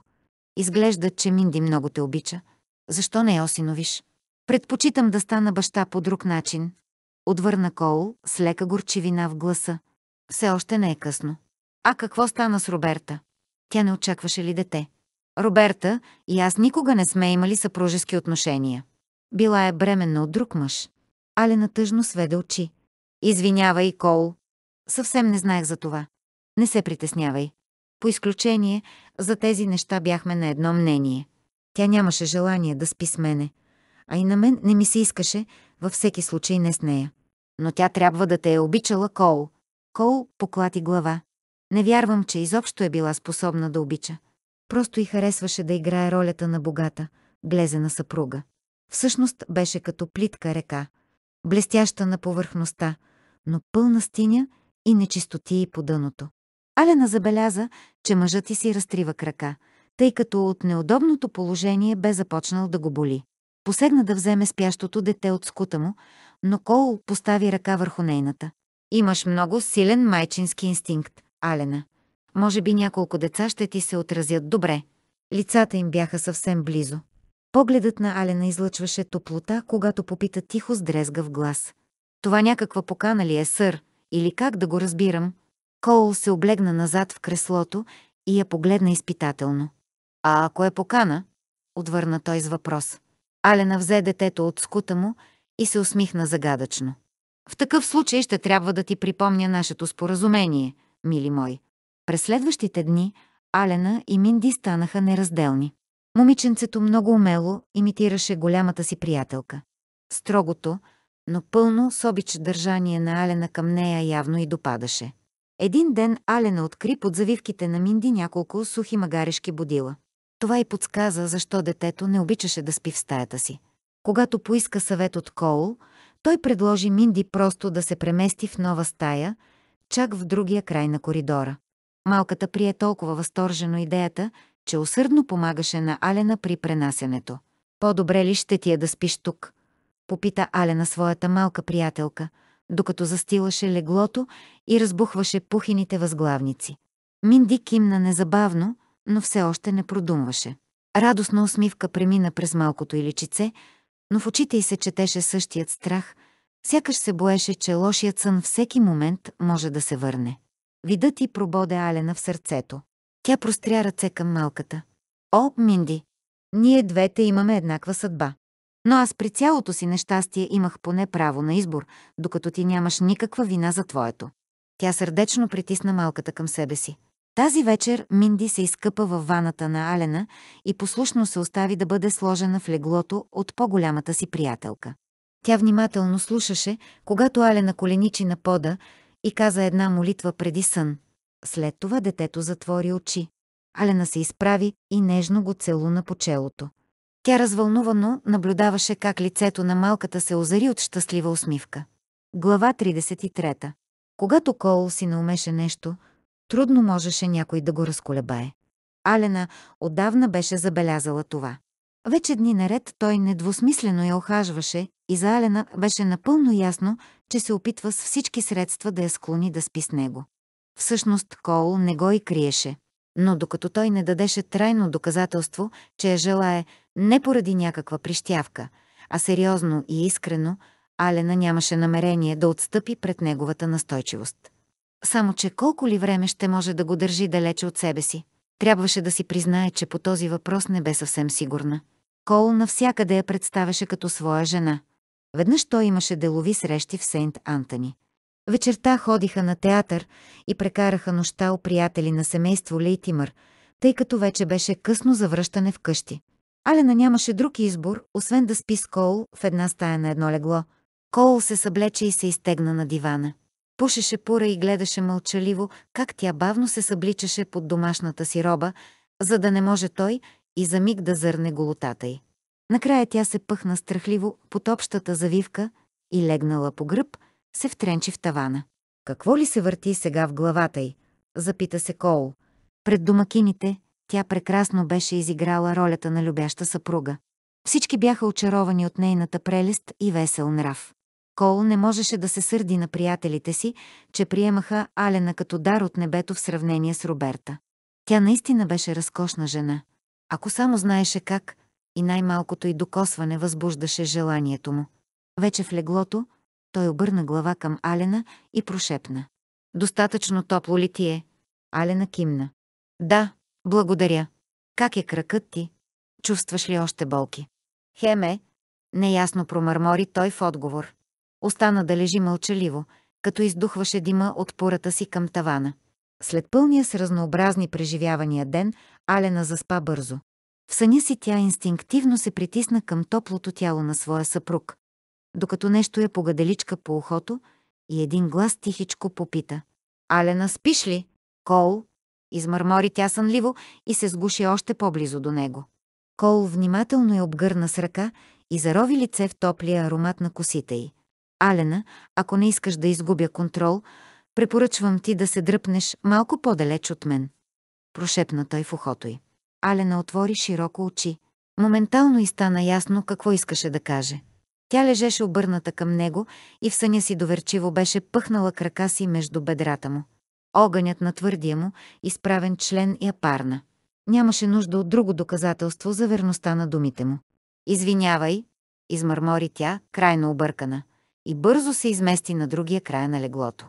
Така те дълго лежаха будни, втренчени в тъмнината, с нерви, опънати до скъсване. Нощта като че нямаше край, но накрая утрото ги освободи от брачната им стая за изтезания. Вкъщи Алена отново почувства твърда почва под краката си, но постоянно трябваше да държи сметка за това, че Кол може да се появи в стаята и по всяко време. Понякога се събуждаше нощем и виждаше в лунната светлина стройния му силует до леглото си. Неспирните разходки из тъмната къща в края на краищата винаги довеждаха Кол отново при Алена. Тя отдавна се беше отказала да барикадира вратите с столове. Просто не можеше да понася неговите подигравки. Вместо това се преструваше, че не я е страх от него, но скоро се убеди, че така само го улеснява, защото той започна да влиза и излиза при нея, когато си поискаше. До вечера с удоволствие ще те изведа, обяви Коул един следобед, когато отново се беше появил непоканен в стаята й. И този път искам да облечеш нещо, което да подчертава женствеността ти. При тези думи очите му с одобрение се плъзнаха по меките извивки на гърдите й, които Алена набързо беше покрила при внезапното му влизане. Извинявай, но намирам малко еднообразно това, че непрекъснато се обличаш в сиво. Алена кипеше от гняв, докато той небрежно се повъртя из банята и най-сетне излезе. С радост би хвърлила нещо по него. Но знаеше много добре, че само ще й се изсмее. Бог ми е свидетел, закле се тя, ще ти покажа аз що за жена съм. Остатъкът от деня Алена посвети на вечерния си туалет. Тя взе ножици и изряза една кадифена рокля толкова дълбоко, че деколтето далече надхвърли обичайната мярка. Штом Кол толкова много харесваше гърдите и до вечера тя щеше да се погрижи да му потекат лигите. Докато се обличаше, сложи за всеки случай един стол под дръжката на вратата. Ударът трябваше да дойде изневиделица. След тази вечер той никога вече нямаше да се усъмни в нейната женственост. Кол почука леко на междинната врата и влезе, без да дочака отговор. Когато видя жена си, спря изненадан. С нескрито възхищение погледът я обхвана, докато и се стори, че очите му проникват през роклята до голата й кожа. Кол закопчаваше разсеяно ризата си. Алена разбра колко успешно е постигнала целта си по това, че той се опитваше да промуши едно копче там, където изобщо нямаше и лик. «Още не си готов», измърмори тя. Кол се приближи до нея и я заразглежда най-обстойно. Погледът му проследи златната веришка, която изчезваше в мамещия улей между гърдите й. Въпреки че Алена си беше обещала никога да не позволява той да разклати самообладанието й, сърцето й се разтоптя. Кол не беше неопитен ученик, но тя трябваше да внимава и да не подлага на прекалено изпитание способността му да се сдържа. Намираш ли тази рокля за достатъчно женствена? Попита тя и приглади гънките на кадифето. Коул сложи ръка на голата й шия и усети колко бързо бие сърцето й. След това повдигна брадичката й, така че тя да го гледа в очите. Ако роклята беше още малко по-женствена, тази нощ нямаше да ми се изплъзнеш. Така както е мога все още да се сдържам. Ръката му се спусна надолу през гърдите и към талията. С нежна настойчивост той я привлече към себе си. Сигурна ли си, че няма да е по-добре да си останем вкъщи? Прошепна с прегракнал глас. Алена се засмя мъркащо. Спомни си за добрите маниери, Кол. Тя облегна лактите си в гърдите му, за да не бъде прекалено близо. Трябва да побързаме, вече е късно. Оли отдавна е докарал каретата пред вратата. Кол я пусна и започна да си връзва вратовръзката. Оли! Минди! Ани! Майлс! В тази къща постоянно някой ми се изпречва на пътя. Изръмжа той ядосано. Би трябвало да уволня цялата тази банда. Тогава бих могъл да те изнасиля на спокойствие. Смехът на Алена звънна в стаята. Петелът пак пропя. Подигра му се тя. По-добре си облечете жилетката и сакото, милорд. Закъснели сме. Кол изкриви лице в гримаса на разочарован сластолюбец и побърза да изпълни желанието на Алена. Когато след малко помагаше на жена си да се качи в каретата, беше в най-добро настроение. Седна до нея и обгърна раменете й. Но скъдната светлина на фенерите, Кол хвърли възхитен поглед върху гърдите на Алена, сияещи в дълбокото деколте на роклята. Много ми харесваш така, мила, пошушна той. Ако знаеше само колко добре ти стои това. Думите му бяха като нежна милувка и развълнуваха сърцето на Алена. Но трябваше да бъде предпазлива. Кол беше като вълк, готов да сграбче плячката си, въпреки че понякога се правеше на хрисим и тих. Той се наведе над нея и устните му леко докоснаха косите й. Ти благоухаеш така хубаво, както изглеждаш. Днес си истинска жена. Нежна и красива. Изумена. Алена трябваше да си признае, че ролята й на съблазнителка в един миг се беше превърнала в ролята на заек в капан. Смедено сладки думи и нежни милувки, той я притискаше умело и неумолимо към стената. Коя жена би устояла дълго на опоритото охажване на такъв мъж? Кой би могъл да я опрекне, че оставя нещата да следват своя път, дори и ако след това щеше да бъде много трудно да спре домогванията му? След продължително пътуване най-сетне стигнаха до града. Оли насочи каретата към една внушителна триетажна постройка, чиято жълтеникава фасада беше претрупана с орнаменти в сладникъв стил. Каква е тази сграда? Попита Алена, докато слизаха от каретата. Най-добрият хотел на града. Въпреки, че далеч не може да се сравнява с големите хотели на Нью-Орлеанс, с готовност обясни мъжът ти. Хотел ли? Запита Алена подозрително. Да, но тази вечер тук гостува една театрална трупа. Освен това, кухнята е много добра. Тук ли ще прекараме нощта? Запита го направо Алена с много тих глас. Това ще решим по-късно. Усмихна се самодоволно Кол. Но ако искаш, защо не? Нямаме никакъв багаж. Припомни му тя, сякаш за да отхвърли подобна възможност. Так му няма да слагаш нощница, ухили се той. Алена силно се изчерви. Беше си спомнила за тяхната първа нощ. Вие сте сластолюбив негодник, сър. Скара се тя гневно на Кол. Уверявам ви, мадам, че няма да настоявам за нещо, което вие не желаете. Очите му блеснаха насмешливо, когато я поведе към хотела. Алена го хвана под ръка и той ласкаво притисна нейната. Моля те да ме извиниш, мила. Понякога се преструваш толкова добре на любяща съпруга, че се забравям и почвам да се държа като истински съпруг. А аз, отговори Алена кротко и замислено, понякога изобщо не знам каква е ролята ми в този абсурден брак. Те оставиха пълтата си в луксозното фойе на хотела и последваха един прислужник по меките килими по край големи огледала с позлатени рамки. В салона за хранене ги настаниха на маса, полускрита в една уютна ниша. Оттам те можеха добре да виждат залата, без да са прекалено изложени на любопитни погледи. Докато сядаше до Алена и протягаше ранения си крак под масата, Кол кимна бегло на неколци на познати. Почувства как под въздействие на вълнуващата и красота го обзема познатата възбуда. Нежно хвана малката й длан и леко я стисна. Колко ти е студена ръката, промълви той. А твоята е топла, отговори тя беззвучно. Инстинктивно се облегна по-близо до него. Той почти можеше да види зърната на гърдите и в дълбокото деколте и му струваше голямо усилие да не посегне да ги докосне. С жадни очи поглъщаше съблазнителната гледка. Всички клюкарки наоколо вече са събрали глави и шушукат за нас, мила, каза Кол с усмивка. Може би ще трябва да им покажем, че ти не си чудовище с две глави, а просто дяволски красива жена. И как мислиш да го направим?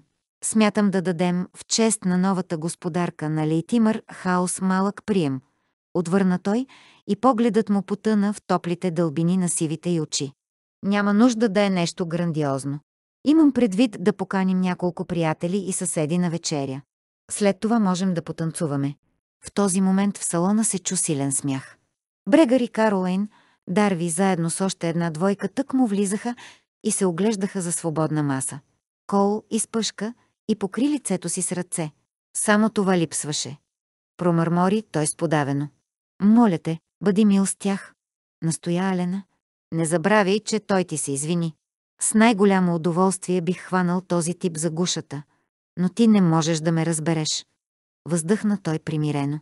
Брегър вече ги беше забелязал и се запъти към тях с широка усмивка. Каква приятна изненада! Имате ли нещо против да се присъединим към вас? Но, Брегър, ти дори не си им представил нашите приятели, напомни Каролайн на брат си. О, да, наистина. Той обви с ръка талията на грациозната червенокоса жена до себе си и се обърна към Коул.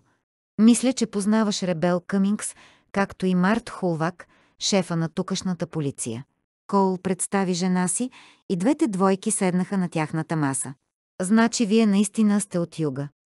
Попита Ребел Къмингс Алена и я огледа с приятелско любопитство. Изглежда, Коул има особена слабост към южните красавици. Питам се какво толкова намира в тях. Сигурно акцента, предположи Алена с престорена наивност. Брегър се изсмя високо на думите й. О, не! възрази той. Не може да е само за това. Покрай службата в армията, Кол просто е видял много свят, въпреки младостта си. Кол не вземаше участие в веселия разговор на масата. Той седеше намръщен и мълчалив и обръщаше една след друга чашите с вино.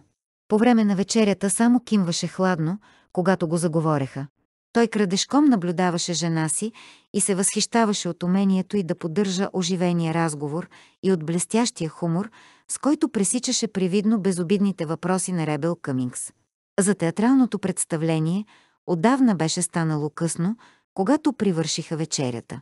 Коул извади часовника си и изруга тихо, щом видя колко е часът. Разговорът стихна отведнъж. Всички се обърнаха към него и го погледнаха въпросително. Всъщност ние смятахме да ходим на театър, обясни той, без да крие лошото си настроение. Положително нищо не сте изпуснали. Успокои го Каролайн. По това време на годината от тук минават само второстепенни артисти. Кол се опита да потисне една прозявка. Мисля, че трябва да си тръгваме. С тези думи той се изправи и се сбогува. На Алена не остана нищо друго, освен да го последва. Докато те излизаха, останалите ги гледаха в неловко мълчание. Навън Алена потръпна от нощния хлад и се загърна плътно в широката си наметка. Ела, седни по-близо до мен, каза Коул с нежна настойчивост, когато се качиха в каретата. Така ще се топлим един друг, а и за крака ми ще е добре. Алена колебливо изпълни неговото желание и се притисна плътно до топлото му силно тяло. Не можеше да отрече, че така се чувстваше много по-добре. Без съпротива му позволи да я прегърне и да я притисне още по-здраво до себе си. Облегнала главата си на рамото му, тя бързо забрави фантазиите си за бесния вълк и хванатия в капан заек. Напротив, сега съжаляваше, че този странен брачен договор не й позволява да установи по-нежни отношения с него и да им се наслаждава. Представях си вечерта съвсем различна, каза тихо Кол. Най-малкото по-интимна. Може би ще трябва да те заведа до Сейнт Пол. Това е доста далече от къщи и там положително няма да срещнем толкова познати. И какво целиш с това? Попита Алена спокойно. Играйки си, Кол подръпваше панделките на наметката й, докато те се развързаха и дрехата се плъзна от раменете й. С най-голяма радост бих те заключил за една седмица в хотелска стая и бих те любил непрекъснато, както си мечтая от дълго време. Алена вдигна глава от рамото му и се взря да види лицето му в мрака. Сега съм съвсем объркана и изобщо не знам вече какво да мисля за нашия необикновен брак. Кол се опита да придаде на гласа си невъзмутим тон. Може би най-после трябва да проумееш, че този брак е като всички други и да очакваш същото, което всяка съпруга нормално очаква от мъжа си. Предполагам, че си разбрала колко много жадувам за този миг. Цялото ми същество се стреми отново да те притежава, Алена. Вече почти не съм в състояние да мисля за друго. Дъхът на Алена спря, когато ръката му се плъзна в деколтето й и обхвана голото изобилие на градта й. Огън премина през нея, когато той се облегна назад, почти я притегли върху себе си и покри шията й с страстни целувки. Всеки миг можеше да легне отгоре й и тогава край с нейната така трудно поддържана съпротива. Отмаляла, Алена опря ръка в гърдите му и го отблъсна. С треперещи пръсти оправи роклята си и го спря, когато отново посегна към нея. Моля те, остави това, Коул. Протестира тя слабо, опитвайки се да потисне пулсиращото желание, което гореше в дълбините на тялото й и напомняше за нейните собствени страстни купнежи. Този брак не е като другите. Това е моят брак и за това е нещастен, както всичко, с което съм се захващала до сега, каза тя тъжно. Нямаше да е такъв, ако оставиш нещата да следват естествения си ход, отговори и Кол. Харесва ми да се отнасят с мен като с жена, особено ти, увери го тя горещо. Хайде да престанем с тези безсмислени мъчения. Кол я хвана за ръката и я обърна към себе си. Аз съм мъж и ти си жена. Нямаш право да ме отблъскваш. Тогава кажи ми, моля те, какво ще трябва да очаквам. Промълви тя с несигурен глас. Първо ме подвеждаш да сключа един уж платоничен брак, но едва съм дошла и ти веднага се опитваш да ме любиш, пък било той на сила. После ме заплашваш, а сега се опитваш да ме преластиш в тази карета. Не можеш ли да разбереш, че вече не знам какво да мисля за всичко това? Кол се наведе напред. Когато проговори, в гласа му се долавяха дълбоките му чувства, цялата му силна, болезнена страст. Ако само знаеше какво съм преживял, откакто си при мен. Ти постоянно си пред очите ми, приемаш гости и изобщо играеш превъзходно ролята на моя жена. Но когато искам да те прегърна, ме отблъскваш. Видях те да коленичиш в розовата градина и имах чувството, че стомахът ми е пълен с горещи въглени. Ако беше възможно, щях да те обладая там, на място. След това отново седиш до мене весела и ведра, но все пак на штрек, а аз толкова силно те желая, че вътрешностите ми изгарят в огън. Докато тези думи се лееха от устата му, Алена седеше с широко отворени очи. Ръката му стискаше с такава сила нежната и китка, че й причиняваше болка. Той продължи шепнешком. Ти си красива, студена и умело се владееш, играеш си с моята мъка, както музикантът със своя инструмент. И винаги миг преди да те достигна ти успяваш да ми се изплъзнеш. Кол сграбчи ръцете на Алена и не ги пусна, когато тя поиска да ги издърпа. Не знам колко време ще издържа на тази игра и не мога да обещая, че някой ден все пак няма да те взема на сила. Бих искал да ми се отдадеш доброволно, защото ден и нощ съм обсебен от теб. Мечтая да почувствам устните ти върху моите, твоите гърди върху моите. Подлодяват ме хиляди сладостни видения, а първият спомен за теб гори в душата ми като огън. Мисли за това, когато ме изтезаваш, показвайки ми гърдите си. Ако страстта ми не бъде удовлетворена, всичко може да се случи, а условията, за които се споразумяхме, ще бъдат нарушени. Алена никога нямаше да разбере дали Кол съзнателно я пощади тази вечер или беше успяла да му избяга на косъм. Тя скръсти ръце в скута си и се втренчи пред себе си. Накрая каза със странно променен глас. Брачната клетва и всички други обещания са толкова крехки. Тя поклати глава и в очите й блеснаха сълзи, когато продължи. Трябва ли да бъда само твоя играчка и непрекъснато да се питам дали случайно не съм нарушила условията? Трябва ли да живея в постоянно напрежение, дали през нощта ще дойдеш при мен ядосан или в добро настроение? Или пък изобщо няма да дойдеш? Какви са намеренията ви спрямо мене, доктор Лейтимър? Може би смяташ да поживееш с мен и после да се разделим, сякаш нищо не е било. Предупреждавам те, Искам много повече от нашия брак. Гласът на Кол прозвуча уморено, когато отговори. Бракът е сключен за неопределено време и аз не искам да го променям. Той се облегна въгъла на каретата. Тъмни сенки закриваха лицето му. Аз размених с адвоката само няколко думи и това беше цялата сватба. Избухна Алена. Питах мистер Джеймс и ако правилно съм го разбрал, нашият брак е сключен за цял живот, докато смъртта ни раздели. Пълномощното, което дадох на адвоката, беше нотариално заверено и подпечатано. Не смяташ ли, че нашият брачен договор е над всички други споразумения и оговорки? Но не се ли разбрахме, че ще мога да си отида, когато поискам? А искаш ли да си отидеш? Затова ли не ме допускаш до себе си? Да не би да има друг мъж, когато да предпочиташ пред мен. Алена не можа да понесе мъката и отчаянието в гласа му. Няма друг мъж, Кол. И аз не искам да си отида от теб. Последва продължително мълчание, докато двамата осъзнаха, че каретата стои на едно място. Всъщност, тя от доста време чакаше пред тъмната къща на хълма. Оли го нямаше никакъв, така че Кол помогна на Алена да слезе и тръгна до нея към къщата, вглъбен в мислите си. Оли си приказваше с прозяващия се Майлс в салона. Кол го изгледа остро, докато кръвта се качи в главата на Оли и той смутено запристъпя от крак на крак. Не исках да ви безпокоя, сър, защото бяхте толкова. Заети, оправдаваше се той неловко. А навън е доста студено. Кол освободи двамата прислужници с кратко кимване на главата, докато Алена се качваше по стълбите, за да остане насаме със своето болезнено унижение. Глава 34. На другата сутрин Кол беше изчезнал.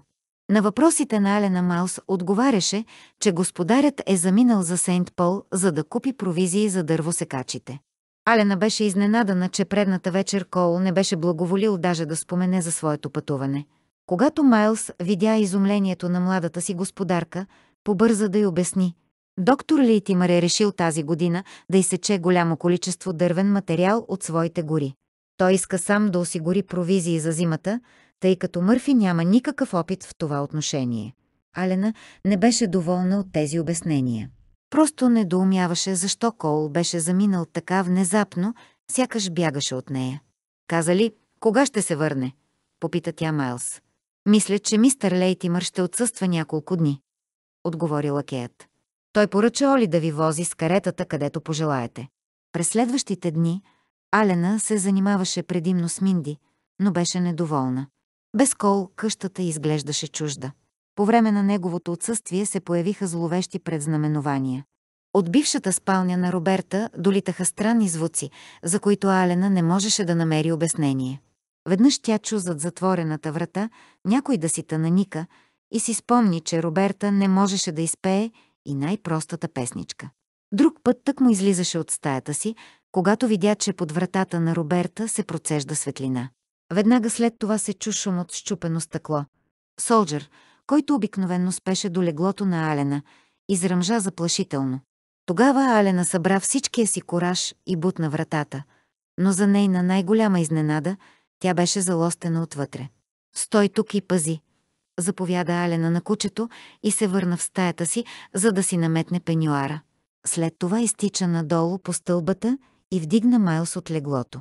Ако е имало някой в стаята, той трябва да е още вътре, тъй като Солджер през цялото време пазеше пред вратата, обясняваше тя на сънения прислужник. Майлс натисна дръжката на вратата. Тя се отвори. Напълно объркана, Алена последва слугата в тъмната стая. Посрещна ги студен полъх, който сякаш идваше от вътрешността на гробницата. Алена потрепери. Майлс запали лампата и претърси цялата стая. Вътре нямаше никой. Кълна се, че видях светлина под вратата. Освен това, чух как се щупи нещо стъклено. Извика поразена Алена. Не откриха нито парченце щупено стъкло, но Майлс не се осмели да се усъмни в твърденията на своята господарка. От друга страна, не му стана ясно как е възможно някой просто да се разтвори във въздуха. Извинявай, че те събудих, каза накрая Алена, сломена и безпомощна. Какво ли щяха да си помислят слугите за нея? Няма нищо, мадам, отвърна Майлс приветливо. Не знам какво става тук, но вярвам на всяка ваша дума. Алена го дари с признателна усмивка. Благодаря ти, Майлс.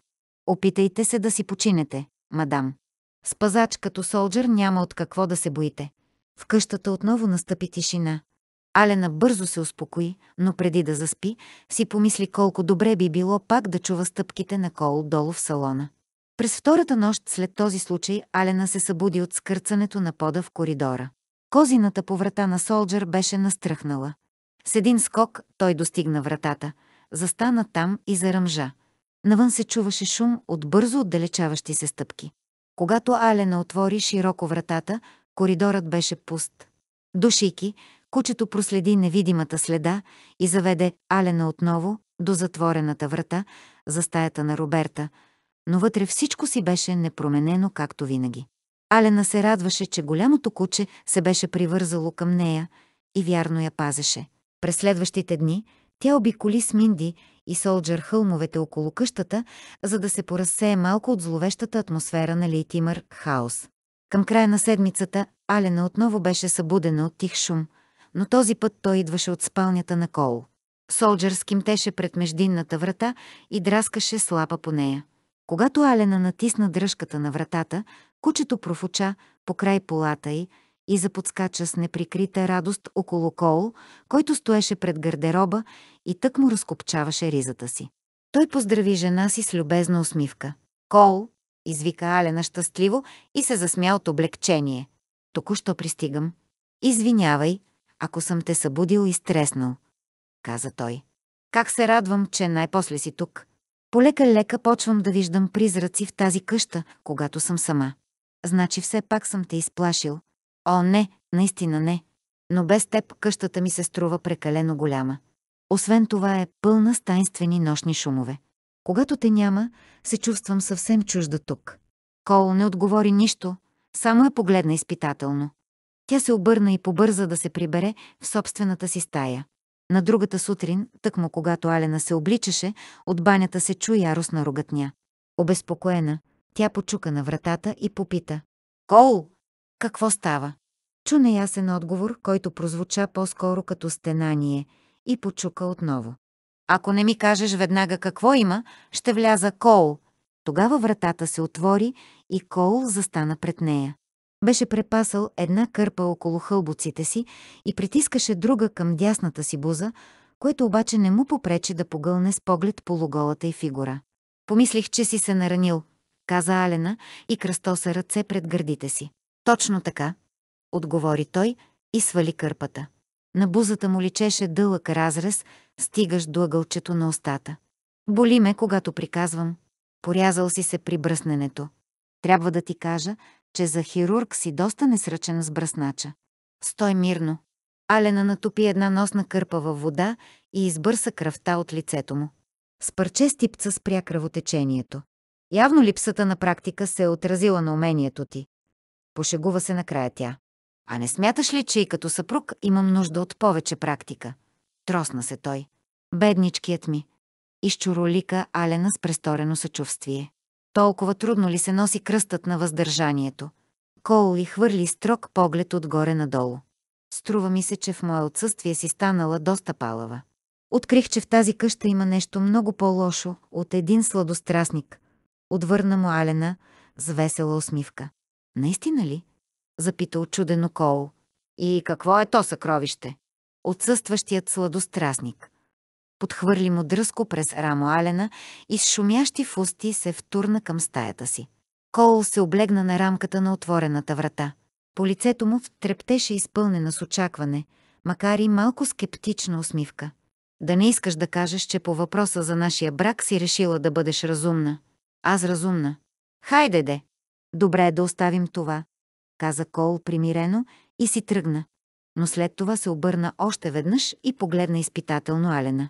Преди да замина, предупредих прислугата, че в края на следващата седмица смятам да дам прием.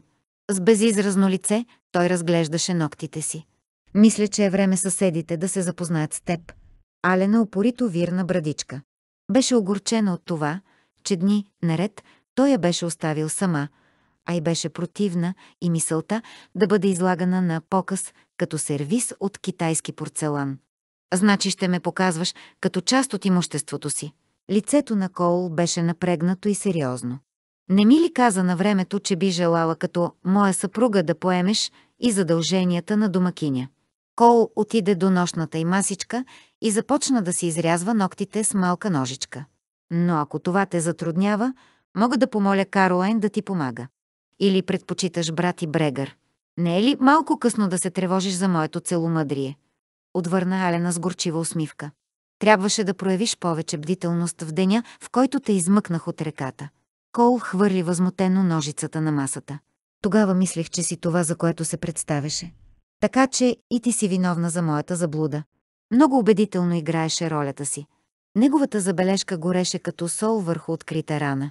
Пред онази нощ ти наистина не беше наред с главата. В края на краищата, на сутринта, дори повярва в лъжите на Роберта. Това е вярно, но твоите лъжи повлякоха лавината. Подчерта Коул. За момент Алена изтръпна под пронизващия му поглед, който безцеремонно минаваше през оскъдните и дрехи. Коул обаче се обърна и без дума повече изчезна в банята. Вътре той се облегна на стената с затворени очи и се опита да отслаби желязната хватка на своето самообладание. Чувстваше се разкъсан и измъчен. Беше употребил всичката сила на волята си, за да не се нахвърли върху жена си. Трябваше някак да овладее опасната си слабост, ако искаше да избегне катастрофата. Глава 35. След обеда, преди празника в Лейтимър, хаос, Алена накара Джилда да вдигне косата и във висока, изкусна фризура. Коул беше назначил това момиче първоначално като лична камериерка на Роберта. Сега тя се грижеше и за Минди, която очевидно продължаваше да смята, че водата не е полезна за кожата. Алена помогна на малката да се облече. Минди с трескаво нетърпение очакваше празненството. В бялата си дантелена блузка и кадифена пола, в царско синьо, тя изглеждаше като малка дама и движенията й бяха леко сковани, но пълни с достоинство, когато изтича в приготвения за танците салон. Докато вървеше по коридора към стаята си, Алена отново имаше чувството, че някой тайно я наблюдава. Тя забави крачките си и се огледа изпитателно наоколо. Вратата към стаята на Роберта беше леко открехната. Алена решително я разтвори, но помещението тънеше в тъмнина. Нищо не издаваше присъствието на друго живо същество. Алена взе една лампа от коридора и влезе предпазливо вътре. Когато погледна към леглото на Роберта, дъхът ти почти спря от изненада. Върху покривката от златист сатен беше просната кърваво-червена рокля, точно каквато Роберта би облякла за предстоящия празник, за да прикове погледите на всички мъже върху себе си. Алена потръпна. Сякаш мъртвата и братовчетка щеше да изкочи от някой тъмен ъгъл на стаята и да се изсмее на наивната Лени, че пак се е хванала на номерата й. Разтърси глава и прогони страшните мисли. Очевидно някой в къщата изпитваше удоволствие да я плаши с подобни груби шеги. Но тя нямаше да се остави да я изкарат от равновесие. Алена вдигна лампата по-високо и освети цялата стая. Изумена забеляза, че върху писалището на Роберта лежи отворена някаква тетрадка, която вчера със сигурност не беше там. Тя пристъпи по-близо и видя, че това е дневник, страниците на който бяха изписани с претенциозния почерк на братовчетка й. С треперещи пръсти Алена остави лампата на масата и се зачете. Виждам го в очите на Коул. Той стои до леглото ми и погледът му издава, че знае какво съм направила. Знае също, че мен скоро няма да ме има, макар да се преструва, че иска да ми помогне. В действителност, той желая колкото може по-скоро да се озове отново в леглото на моята братовчетка, онази мизерна малка скитница. Щом аз умра, веднага ще отида при нея. Господи, защо оставих да ме използват по този начин?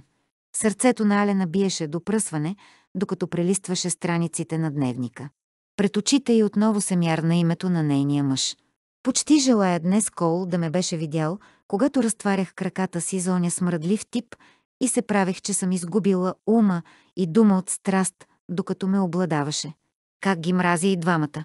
Кол, който тича жадно след Лени и ме мами, и този глупак, когато аз погубих от чиста злоба. Алена прилисти още няколко страници и се вгледа разстроена в следните редове.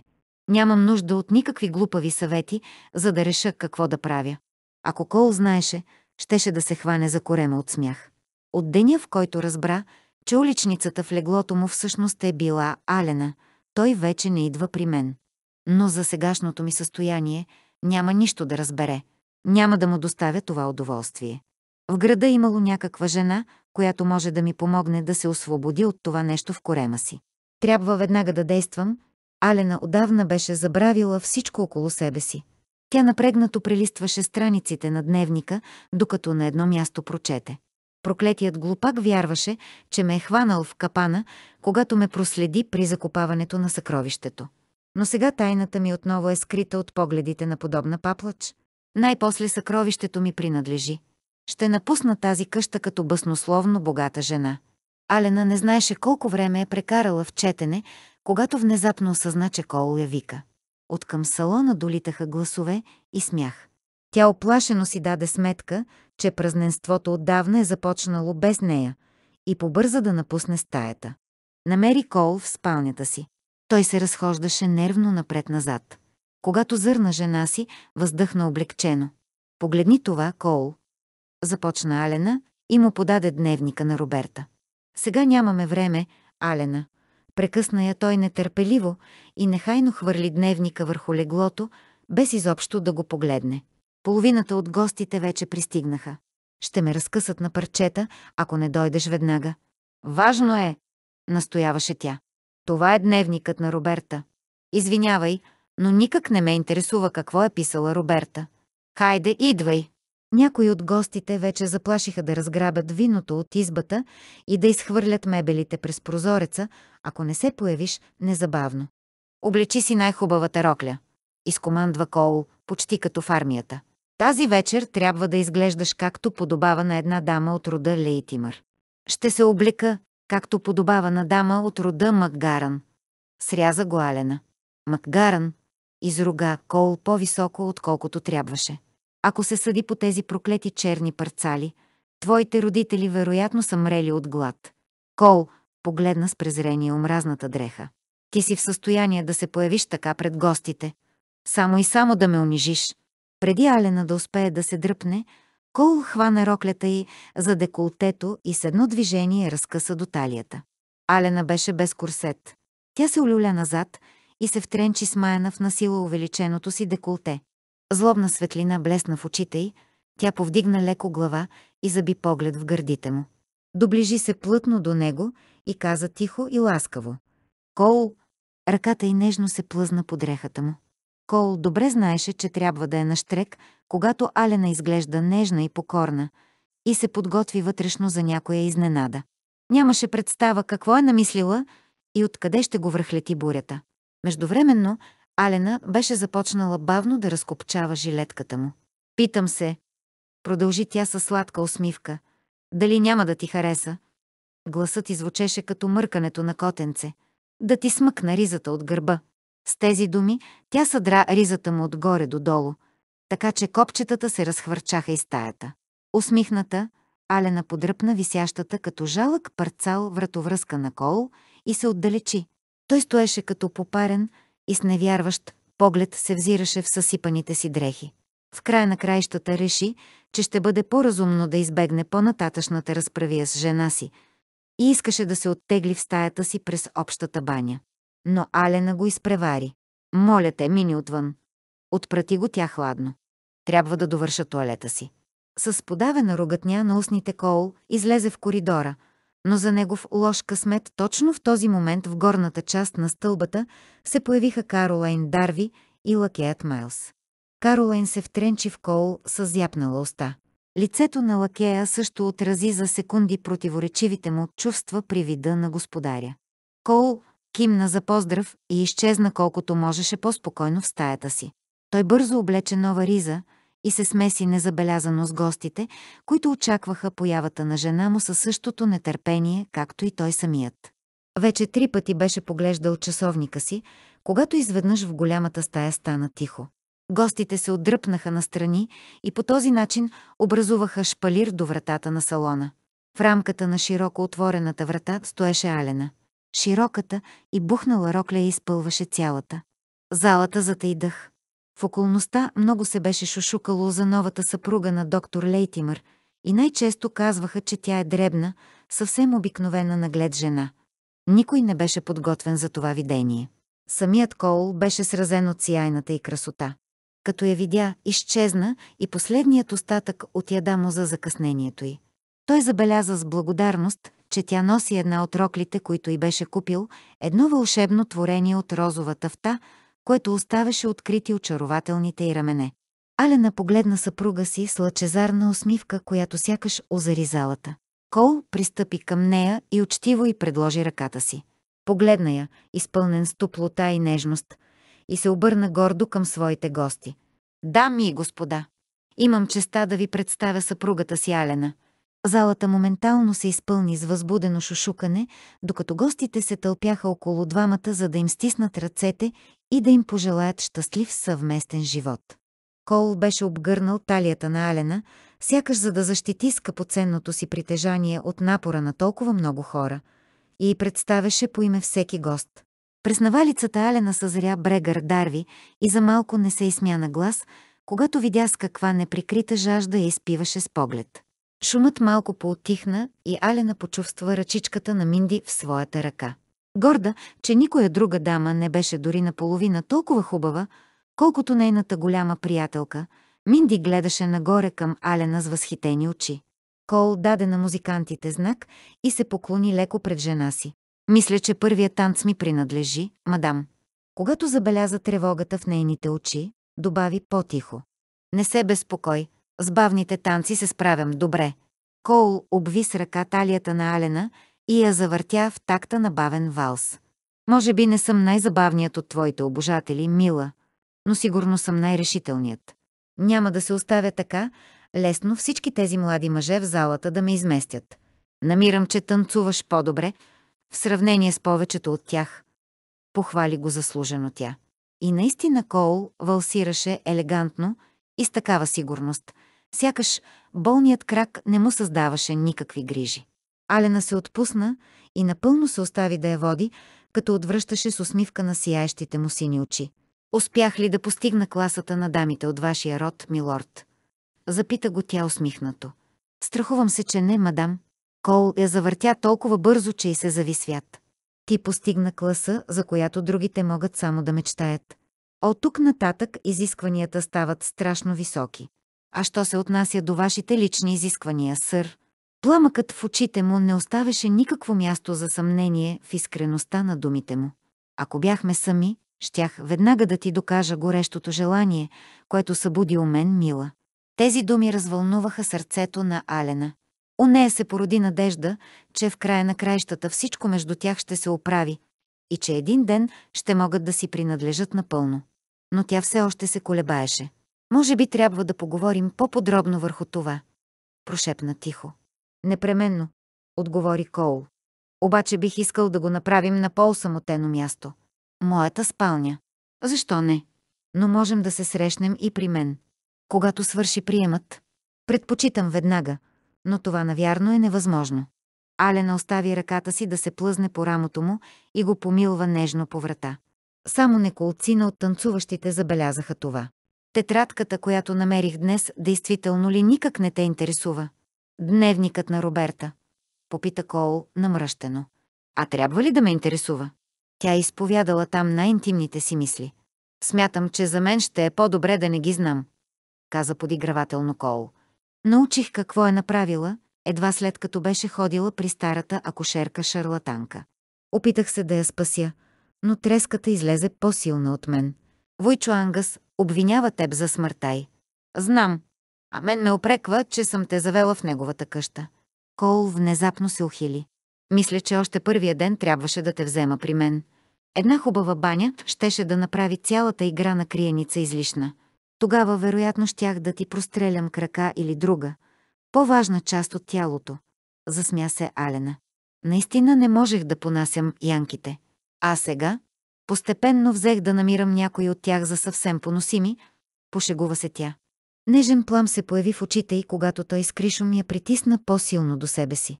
Преди да отиде да си легне, Минди получи правото да танцува един път с Кол. Тя беше възхитена, че се върти в кръг с господаря и под умелото му ръководство ловко нагаждаше малките си стъпки към неговите. Всъщност ясно ли ти е, че ти си царицата на вечерта? Попита Коул малката, когато танцът свърши. И се усмихна трогнат над лъчезарното личице. Минди поклати глава сериозно и посочи скимване към Алена, която в същия миг ги докосна с полите си в танца като ярка, грациозна пеперуда. Мислено Коул трябваше да се съгласи с момиченцето. Алена наистина вълнуваше със сияйната си младост. Беше омагиосващо да я гледаш. По-късно дойде ред на Брегър Дарви да танцува с домакинята. Тя почти си изкриви врата, опитвайки се да надзърне край широките му рамене, за да намери Коул, но не успя. Под някакъв предлог се измъкна след танца и тръгна да го потърси. Внимателно отвори вратата към кабинета му и се вмъкна вътре. Стаята беше празна. В камината гореше огън.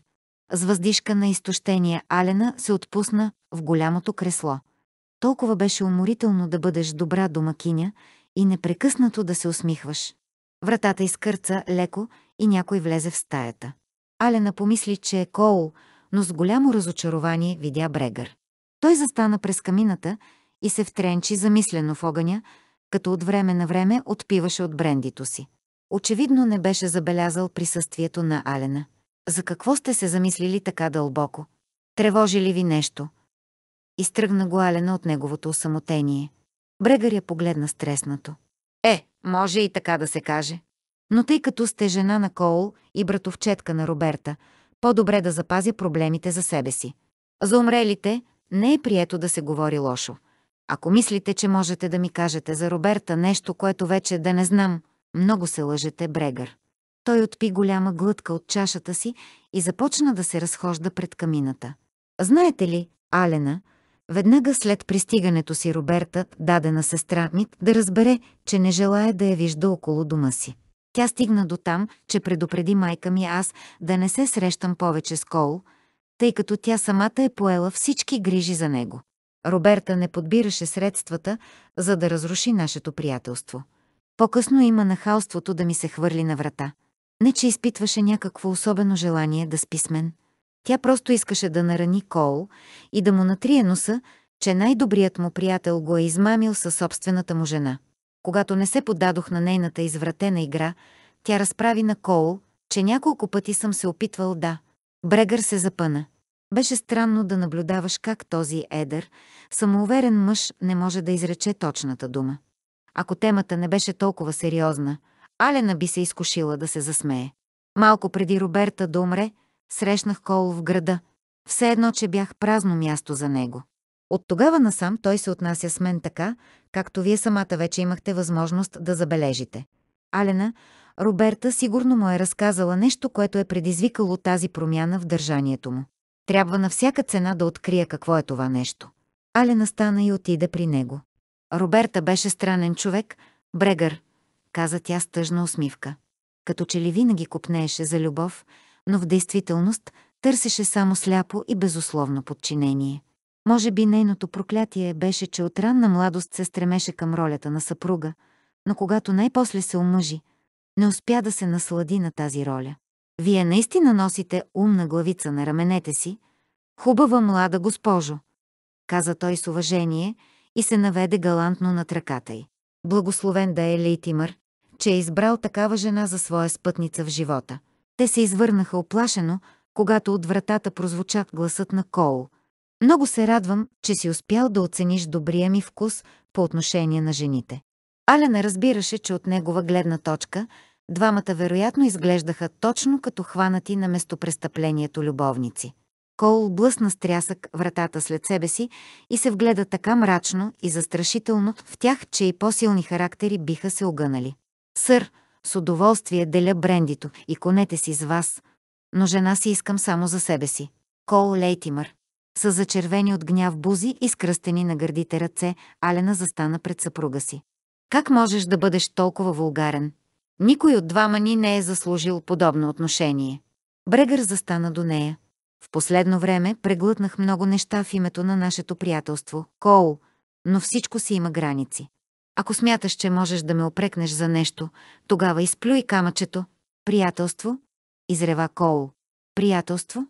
В собствената ми къща ми слагат рога и на всичкото отгоре този човек има нахалството да говори за приятелство. Брегър беше толкова ужасен, колкото и Алена. Какво означава всичко това? Толкова ли те боли кракът, че вече не си в състояние да родиш свясна мисъл в главата си? Или пак си пиян? Във всеки случай ти си един освирепял глупак. Преди 10 години щях да се бия с теб за подобно обвинение. Брегър искаше да се обърне, но Кол го сграбчи за ръкава. Преди 10 години. А какво ти пречи да го сториш сега? Или може би се страхуваш да се биеш с един сакат човек? Кол, извика предупредително Алена. Брегър се извърна толкова рязко, че рижият перчем падна на челото му. С зачервен от гняв врат, той скочи към Кол. Подяволите! Не понасям хора като теб, които отварят голяма уста, но след това подвиват опашка, когато срещу тях застане някой по-силен. Кол сграбчи бастуна с две ръце и го вдигна високо над главата си. Ще ти пръсна дебелата ирландска кратуна. Заплаши го той с кървясали очи. Със светкавично движение Брегър изтръгна бастуна му и го захвърли въгъла. В следния миг той сграбчи Кол за ризата и го запрати към един шкаф с книги. Алена решително се хвърли между мъжете. Обърната с гръб към Кол, тя заблъска Брегър в гърдите. Брегър дърви. Поснете го. Поснете го веднага, извика тя извън себе си. Брегър се опомни и отстъпи крачка назад. Алена се обърна към Коул. Всичкият ти кораж я напусна. С зачервено лице той гледаше, изпълнен с омраза. Не се крия зад женски фусти, мадам. След това се обърна гневно към Брегър. Тук няма място за двама ни. Кол! Когато погледна Алена, Кол видя върху лицето и израз на най-дълбоко презрение. Спомни си колко възмутена беше тя, когато предишния път бе изхвърлил Брегър. Не можеше да си позволи да го повтори. Вместо това се поклони подигравателно. В такъв случай ви напускам, докато бурята премине. Той се наведе да вземе бастуна си, закоцука към барчето с напитки, откъдето си взе бутилка бренди и излезе от стаята, без да каже нито дума. Скоро след това семейство Дарви напуснаха празненството, който продължи до ранните сутрешните часове. Най-сетне и последните гости си тръгнаха. Уморена, Алена изкачи стълбите към стаята си. От към вратата на Коул не се чуваше и най-малкият шум. Дневникът на Роберта беше изчезнал от леглото, но Алена не обърна особено внимание. Вероятно камериерката го беше прибрала, когато е почиствала. Рано сутринта Алена отново беше на крак. Тя закуси сама. Вратата на кабинета все още стоеше широко отворена и остана така през целия ден. Самият Кол не даваше признаци на живот. Когато отново настана нощ, Алена започна да се тревожи за него. Безпомощна, тя си легна рано, като остави лампата да свети. По някое време през нощта се стресна в неспокойния си сън. Солджер стоеше до леглото й и ръмжеше. Алена наметна дебелия си пенюар и взе пистолета от скривалището му в гардероба. В коридора всичко беше спокойно, от спалнята на Коул също не се долавяше никакъв звук. Вратата към стаята на Роберта беше затворена. Минди спеше спокойно в малкото си легло. Кучето легна на пода в салона и изчака търпеливо, докато Алена огледа добре и трапезарията. Накрая тя блъсна вратата към кухнята и замръзна на място от страх и изненада. Изправен като статуя, Кол стоеше пред огнището, което все още излъчваше топлина. В едната си ръка държеше пълна до ръба чаша, в другата — почти празна бутилка бренди. «Търсиш ли някого?» — попита я той. Алена се постара гласът и да прозвучи нормално, но от гърлото излезе само шепот. Кучето беше неспокойно, сякаш беше усетило някого. Не знаех, че си тук. Кол махна пренебрежително с ръка. Както виждам, гостите ти са си отишли. Аз не съм имала гости. Това бяха твои гости. Кол пристъпи няколко крачки към нея и я изгледа продължително. Алена, бих искал да ти обясня. Не се ядосах на теб, а единствено на онзи проклет ирландски глупак. Не съм имал и най-малкото съмнение, че ти винаги си се държала като безукорна дама. Въпреки това беше несправедлив. Казват, че гневът и алкохолът могат да направят от един мъж глупак. А и двете заедно го правят пълен идиот. Взе и Кол думите от устата. Замислен. Той отпи от чашата си, след което наведе сломено глава. Признавам се за виновен на Алена.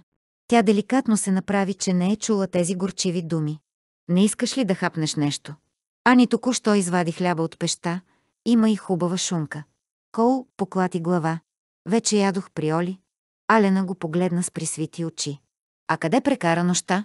Той избягна погледа й и се забави с отговора. При конете в конюшнята, каза накрая с въздишка. Там въздухът по-чист ли е, отколкото вкъщи? Попита младата жена, като се мъчеше да не се засмее. Във всеки случай разговорът беше по-приятен и миролюбив от онзи, който в последно време ми се наложи да водя. Разбира се, не мога да се закълна, че между конете е имало чистокръвен ирландски жребец и шотландска кобила.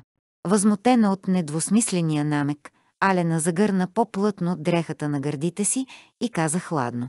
Ако нямаш нищо против, връщам се в леглото. Студено ми е.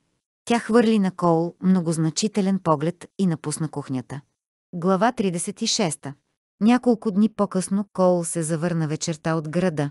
Беше в лошо настроение, тъй като поръчката, заради която беше ходил до там, не вървеше както трябва. На всичкото отгоре, кракът го болеше повече от всякога. Лакеят Майлз го посрещна на вратата с съобщението, че доктор Дарви е дошъл на гости мисис Лейтимър, след като дълго е чакала доктор Лейтимър, накрая е заповядала да сервират вечерята. Когато Кол влезе в трапезарията, раздразнен видя, че Брегър е заел мястото от дясно на Алена, така че на него не му оставаше нищо друго, освен да седне на другия край на дългата маса. Негодованието на Кол се насочи към първия предмет, който попадна пред очите му. Кажи на Ани веднага да махне проклетата купа с картофи. Избухна той гневно. Мърморейки под носа си, готвачката, която в момента влизаше в стаята, изпълни нареждането на господаря. Не го взимай при сърце, Ани, утеши Алена. Сигурно кракът на доктор Лейтимър отново му създава грижи. Къде е Минди? Осведоми се Кол. Ти закъсня толкова много, че тя вечеря и отида да си легне. По време на вечерята Алена усети, че настроението на Коул се развали още повече. Брегър наблюдаваше замислено своя домакин и се питаше дали е разумно сега да говори с него за последното им спречкване. Коул скоро се изнерви от напрегнатата атмосфера на масата. Той взе бутилката с бренди и попита хапливо Брегър. Не са ли ти казвали, че не е учтиво да зяпаш така един сакат човек? Брегър предпочете да не отговаря. Веднага след вечерята той стана и се сбогува. Алена хвърли гневен поглед към съпруга си и се оттегли в спалнята. Кол промърмори, че му е дошло до гуша по цял ден да гледа кисели и свъдливи жени. Накуцвайки, той се качи в стаята си и затръшна вратата след себе си. Но веднага след това вратата от камбанята се отвори рязко и той се озова срещу младата си жена, която нетърпеливо дърпаше копчетата на роклята си и го гледаше унищожително. Тази вечер отново се държа като последен глупак. И съска тя. Ти си най-невъзпитаният мъж, който съм имала нещастието да срещна. Тя се завъртя и профуча възмутена обратно в стаята си. Кол не можеше да понесе подобно отношение. Заплашителен като буреносен облак, той закоцука подира й. Наричаш ме невъзпитан. А какво правиш ти самата? Настаняваш този тип на мястото ми и го храниш с моето ядене. Кол дръпна вратовръзката от шията си и разкопча жилетката. И всичко това в мое отсъствие. Колко хитро наистина. Той беше дошъл да се види с теб, отговори Алена. Кол знаеше дълбоко в себе си, че не е прав. Но гневът му беше по-силен от всякакъв разум. Ти имаш много обожатели, но този е по-различен, не знаеш каква цел си е поставило копелето. В бесена Алена запрати роклята и фустите върху леглото. Една дозина прислужници могат да свидетелстват, че не съм нарушила благоприличието. Какво си въобразяваш? Кол тък му беше свалил ризата си и ожесточено дърпаше единия си бутуш. Да не смяташ, че ти дължа благодарност за това, което си направила. Запита той хъпливо. А аз трябва ли да ти благодаря за това, че се опитваш да ме купиш с хубави дрехи и скъпи бижута? Отвърна му Алена. Може би други жени могат да бъдат купени по този начин, но с мен не си познал. Кол се изсмя подигравателно. Това е само въпрос на цена, мадам. Колко мислиш, че струва медальонът, който носиш на врата си? Тази забележка препълни чашата. Да си взема обратно проклетото нещо. Алена бясно измъкна златната веришка през главата си и без да иска, удари мъжа си в лицето. Вдигнатите й ръце караха Кол да очаква и нещо по-лошо.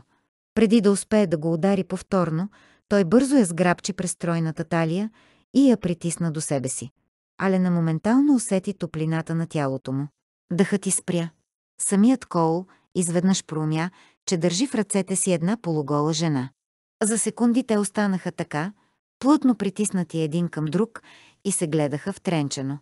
След това устните на Коул се сведоха бавно, почти колебливо към устните на Алена.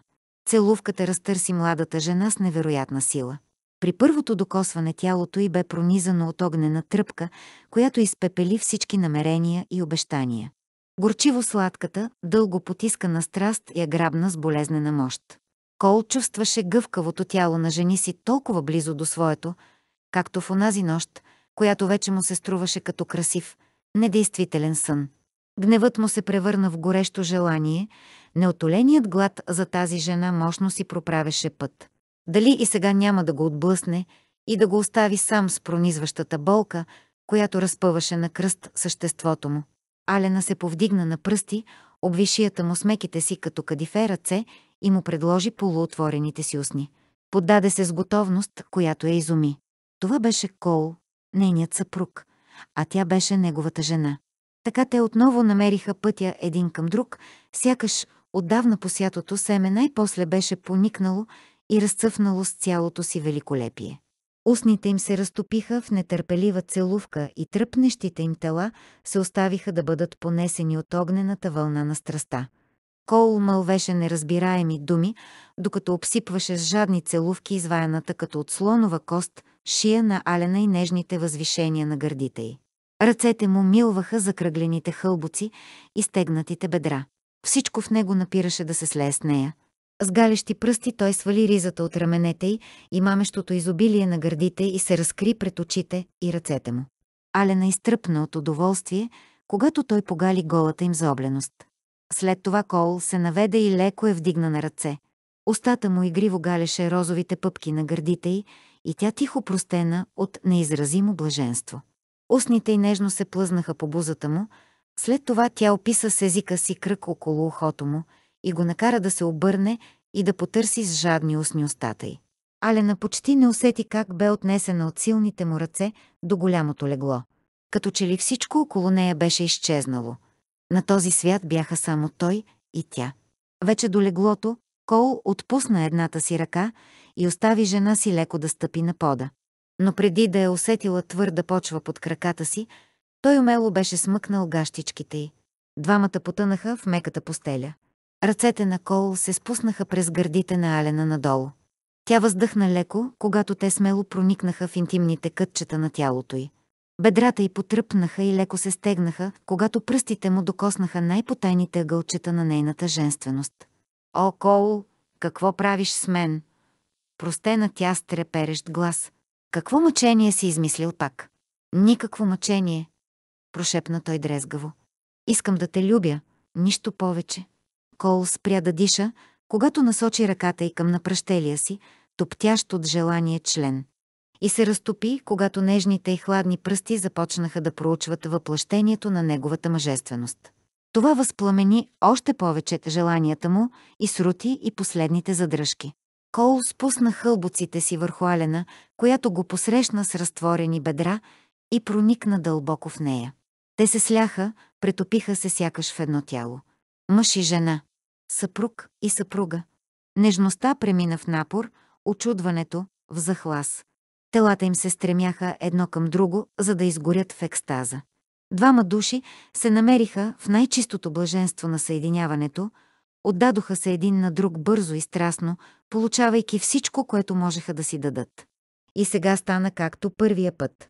Това, което правеше тяхното взаимно обладание така неповторимо, тази вълна от чиста телесна наслада ги заля с цялата си мощ. Алена смътно се досещаше какво беше преживял Кол през всичките тези дълги месеци на въздържание. Като стенеше опиянено и трепереше с цялото си тяло, Кол се изля в жена си, навлизайки чак до дълбините на нейната същност. Телата им се сляха в съвършена хармония.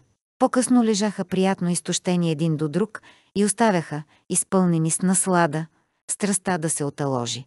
Кол мушна лицето си в къдравата коса на Алена и вдишваше дълбоко прекрасния й аромат. Спомни си за многото безсънни нощи, когато не успяваше да прогони тази жена от мислите си. Тя беше възпламенила страстите му, беше изгорял от купнеж по нея.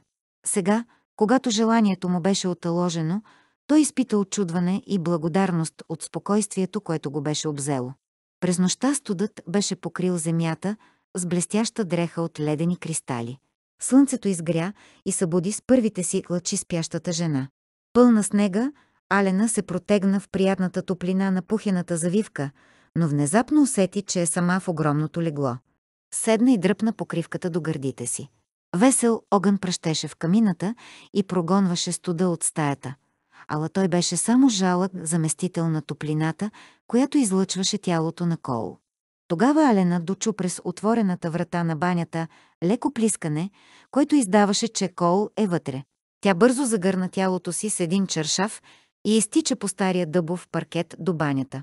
Кол се беше изтегнал в пълната с топла вода вана. При вида му Алена се почувства радостна и окрилена. С весело лукавство тя се наведе над него и нежно го целуна за добро утро. Това му напомни за безграничната наслада на тяхната любовна нощ. Кол беше влюбен повече от всякога в своята необикновена жена, която с такъв безподобен замах беше влязла в живота му. Тя се оказа много по-женствена, отколкото си представеше, и в нея нямаше нищо от грижливо пресметнатото кокетство на Роберта. Ведрият ти, непринуден характер постоянно разпалваше огъня в него. Кол изцяло се отдаде на сладостта на целувката и въздъхна, когато устните й се отделиха от неговите. Очите й блестяха и тя се усмихваше дяволито, докато, без да се срамува, го разглеждаше от глава до пети. «Желаете ли нещо, Янки?» Попита го тя с провлечен южняшки акцент. «Теб», отвърна Коул, дишайки тежко и притегли главата й към себе си. «Не мога да ти се наситя». Чершафът се плъзна на земята. Коуля дръпна във ваната и покри устата и гърдите из целувки. Най-после мечтата ми се сбъдва, прошепна той дрезгаво в ухото й. Но никога не съм вярвал, че ще бъде толкова приятно да те изкъпе човек. Глава 37. Няколко дни след това Алена направи дълга разходка, която я отведе далеч от Лейтимър хаус. Леден вятър проникваше през дрехите й. Трепереща, тя разтърка в цепенените си пръсти и внезапно съзря през клоните на високите стари дървета къщата, която бащата на Кол първоначално беше построил и която Кол беше нарекал колибата. Любопитна. Тя пристъпи по-близо и натисна дръжката на масивната дървена врата. За нейна изненада вратата не беше заключена и след известно колебание Алена влезе вътре. Гробна тишина цареше в дългия коридор. Множество врати водеха към различни стаи, а в дъното една здрава. Проста стълба от дърво се изкачваше към горния етаж. Алена надникна в няколко от стаите, но навсякъде я посрещаше една и съща призрачна гледка, покрити с бели кълъв и мебели. Последната стая, в която Алена влезе, имаше малко по-приветлив вид. През един голям прозорец проникваше сумрачната светлина на зимния ден. При по-внимателно вглеждане Алена, изненадана, забеляза, че някаква разрушителна сила, в която имаше нещо нечовешко, е вилняла и стаята. Столовете и креслата бяха преобърнати, подвързани с кожа книги бяха пръснати по пода, където се смесваха с разпилени книжа. На целия този хаос се издигаше голяма каменна камина. До нея бяха наредени дърва и подпалки. Алена тък му опипваше перваза на камината за кибрид, когато погледът й падна върху малък портрет в златна рамка, почти затрупан от книжа върху писалището. Тя любопитно се приближи. Предпазното стъкло беше натрошено на ситни парченца, но снимката бе почти незасегната. Имаше само една гънка по средата, сякаш някой се беше опитвал със сила да смачка изображението. В здрача на стаята Алена различи на снимката млада жена с бяла колосана престилка върху тъмната рокля, която много приличаше на нея. Когато доближи портрета до лампата, дъхът спря. Това беше самата тя, Алена. Мислите й се объркаха. Внезапно й дойде на ум, че през последните дни от оздравяването на Коул в лазарета се беше появил някакъв фотограф и беше снимал няколко пъти. По някакъв начин Кол се беше здобил с тази фотография и беше я изрязал така, че точно да прилегне в малката златна рамка. «Ах ти, глупаво момиче!» Прозвуча зад нея сърдит мъжки глас. Изплашена до смърт, Алена стреснато се обърна. Когато разпозна високата фигура на мъжа си, коленете й омекнаха от облегчение. Трепереща, тя се облегна на писалището и притисна ръка към лудо тупкащото си сърце. Мили Боже! Скара му се тя. Защо ме плашиш така? Трябваше да влезеш малко по-внимателно. Нима, отвърна Кол ядосано. А ти самата излизаш и те няма толкова дълго, че човек почва да се чуди какво ли ти се е случило. Нали ти казах, че мога и сама да се грижа за себе си. Кол хвърли кожената си шуба върху едно кресло. Зимите тук не са така меки, както при вас. На юг, мила моя. Няколко измръзнали пръста на ръцете или краката са нещо много лошо, но още по-лошо, че немалко хора, посмели да излязат в подобен адски студ, е трябвало да се простят с живота си. Алена не беше в настроение да слуша упреци от страна на Коул и бързо смени темата. Как успя да ме намериш? Търсих навсякъде из околността, когато внезапно ми хрумна, че може да си тук. Алена забеляза, че Коул куца повече от обикновено, докато той прекоси стаята и застана до писалището. Лицето му стана сериозно, когато видя портретчето. Моят талисман, откакто се върнах от Нью Орлианс, промърмори той. Роберта твърдеше, че го е хвърлила в реката. Но очевидно и този път е излагала. Той постави снимката на писалището и се обърна към Алена. Това беше кабинетът на баща ми, каза той. Идвах често тук, когато имах грижи и исках да бъда сам. Една седмица преди смъртта си Роберта ме потърсила тук, но по това време аз съм бил в града. Когато се върнах, тя вече беше направила всичко на пух и прах. Смахване на ръката Кол посочи безпорядъка наоколо. Дни след това никой не множеше да я окрути. Майл си взе отпуск, Ани се скри в килера, а камериерките се барикадираха в една стая на тавана. Роберта беше намерила твоята снимка. Затова безнееше като фурия. Мисис Гарт беше единствената, която Роберта не закачаше и която свободно можеше да се движи из къщата. Устните на Коул се изкривиха в горчива усмивка. Роберта дори искаше от мен да й кажа къде те крия. Алена беше слисана. Но защо си запазил тази снимка? Кол бавно вдигна очи и погледна сериозно жена си. Не можеш ли да отгатнеш Алена? Запита той с въздишка. Толкова ли е трудно да се разбере? Когато се приближи до нея и я прегърна, вълна от нежност заля Алена. Кол я отведе до едно кресло и я притегли на коленете си. След това събу мокрите й обувки и притисна студените й крака между своите, за да ги стопли. Отдавна съм влюбен в теб, каза той тихо. След като напуснах Нью Орлианс, се помъчих да те забравя, но не можах. Тогава взех решение да погледна истината в очите и да се опитам да те спечеля. Но ти не се ожени за мен от любов, а по взаимно споразумение. Поне така твърди Войчо Ангас, извика Алена, изпълнена с недоверие. Ангас е излагал. Искал е да ни противопостави един на друг. Съчинил е всичко това, след като се бях обърнал с писмо към доктор Брукс и мисис Холтърн с молба да ти предадат предложението ми за женитба. Значи ти си писал пръв. Алена се вгледа изпитателно в блестящите дълбини на сините му очи. Мисис Холтърн ми писа за неприятностите ти сонзи Жак Дюбоне. Тя ме съветваше, ако изобщо държа на теб, да сваля маската на безразличието и да предприема нещо, за да ти помогна. Последвах съвета и реших да се оженя за теб. Ако тя не беше ми писала, с моята нерешителност сигурно щях да загубя още доста време, докато намеря някакъв повод да ти направя предложение. Какво ти пречеше да го сториш? Попита Алена меко. В Нью Орлианс ти винаги отхвърляше толкова решително моите опити за сближаване, че не знаех дали ще приемеш. Затова просто бях решил да изчакам по-добри времена. Кажи честно, наистина ли искаше да се ожениш за мен? Попита Алена. Само теб и никоя друга виждах като своя жена. Това е чистата истина. Очите на Алена се напълниха със сълзи. Можеше ли след всичките тези борби и разправи и да повярва, че той искрено я обича?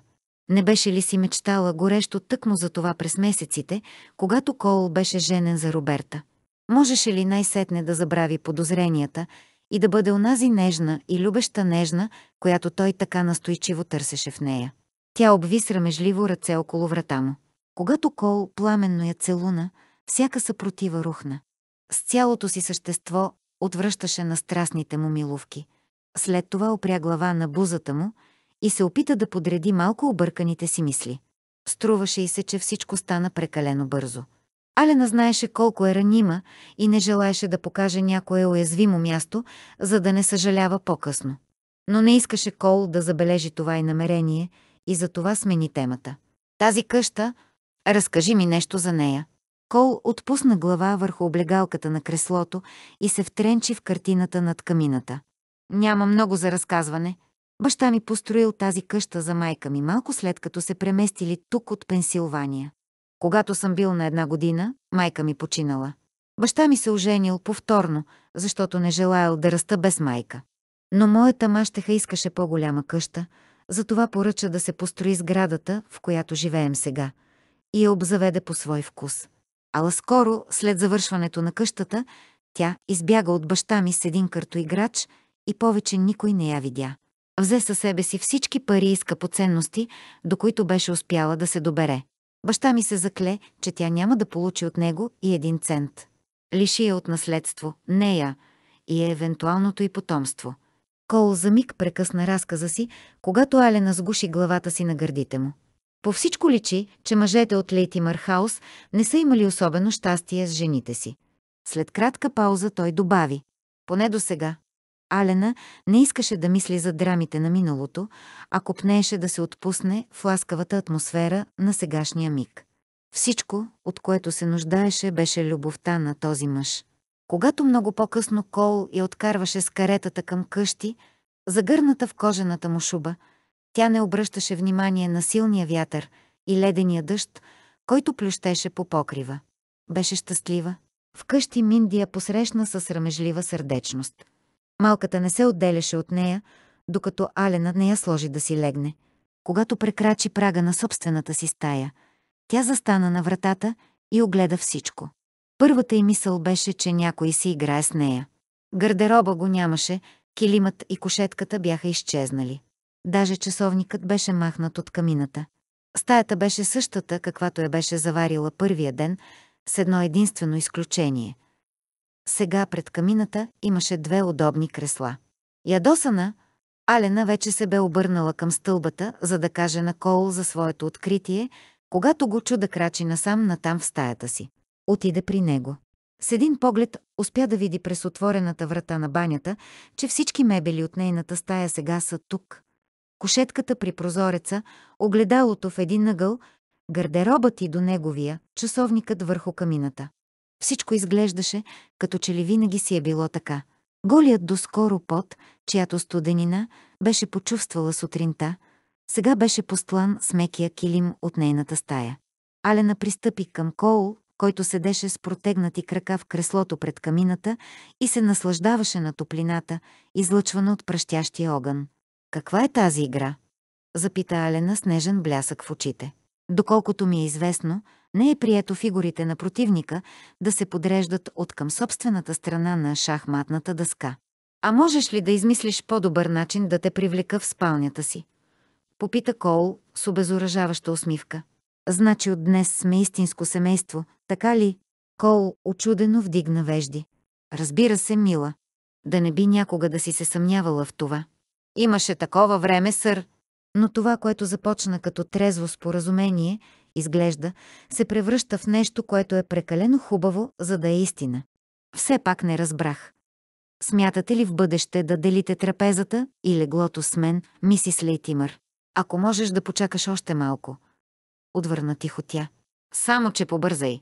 Алена припряно избра една нощница от гардероба си и отиде в банята.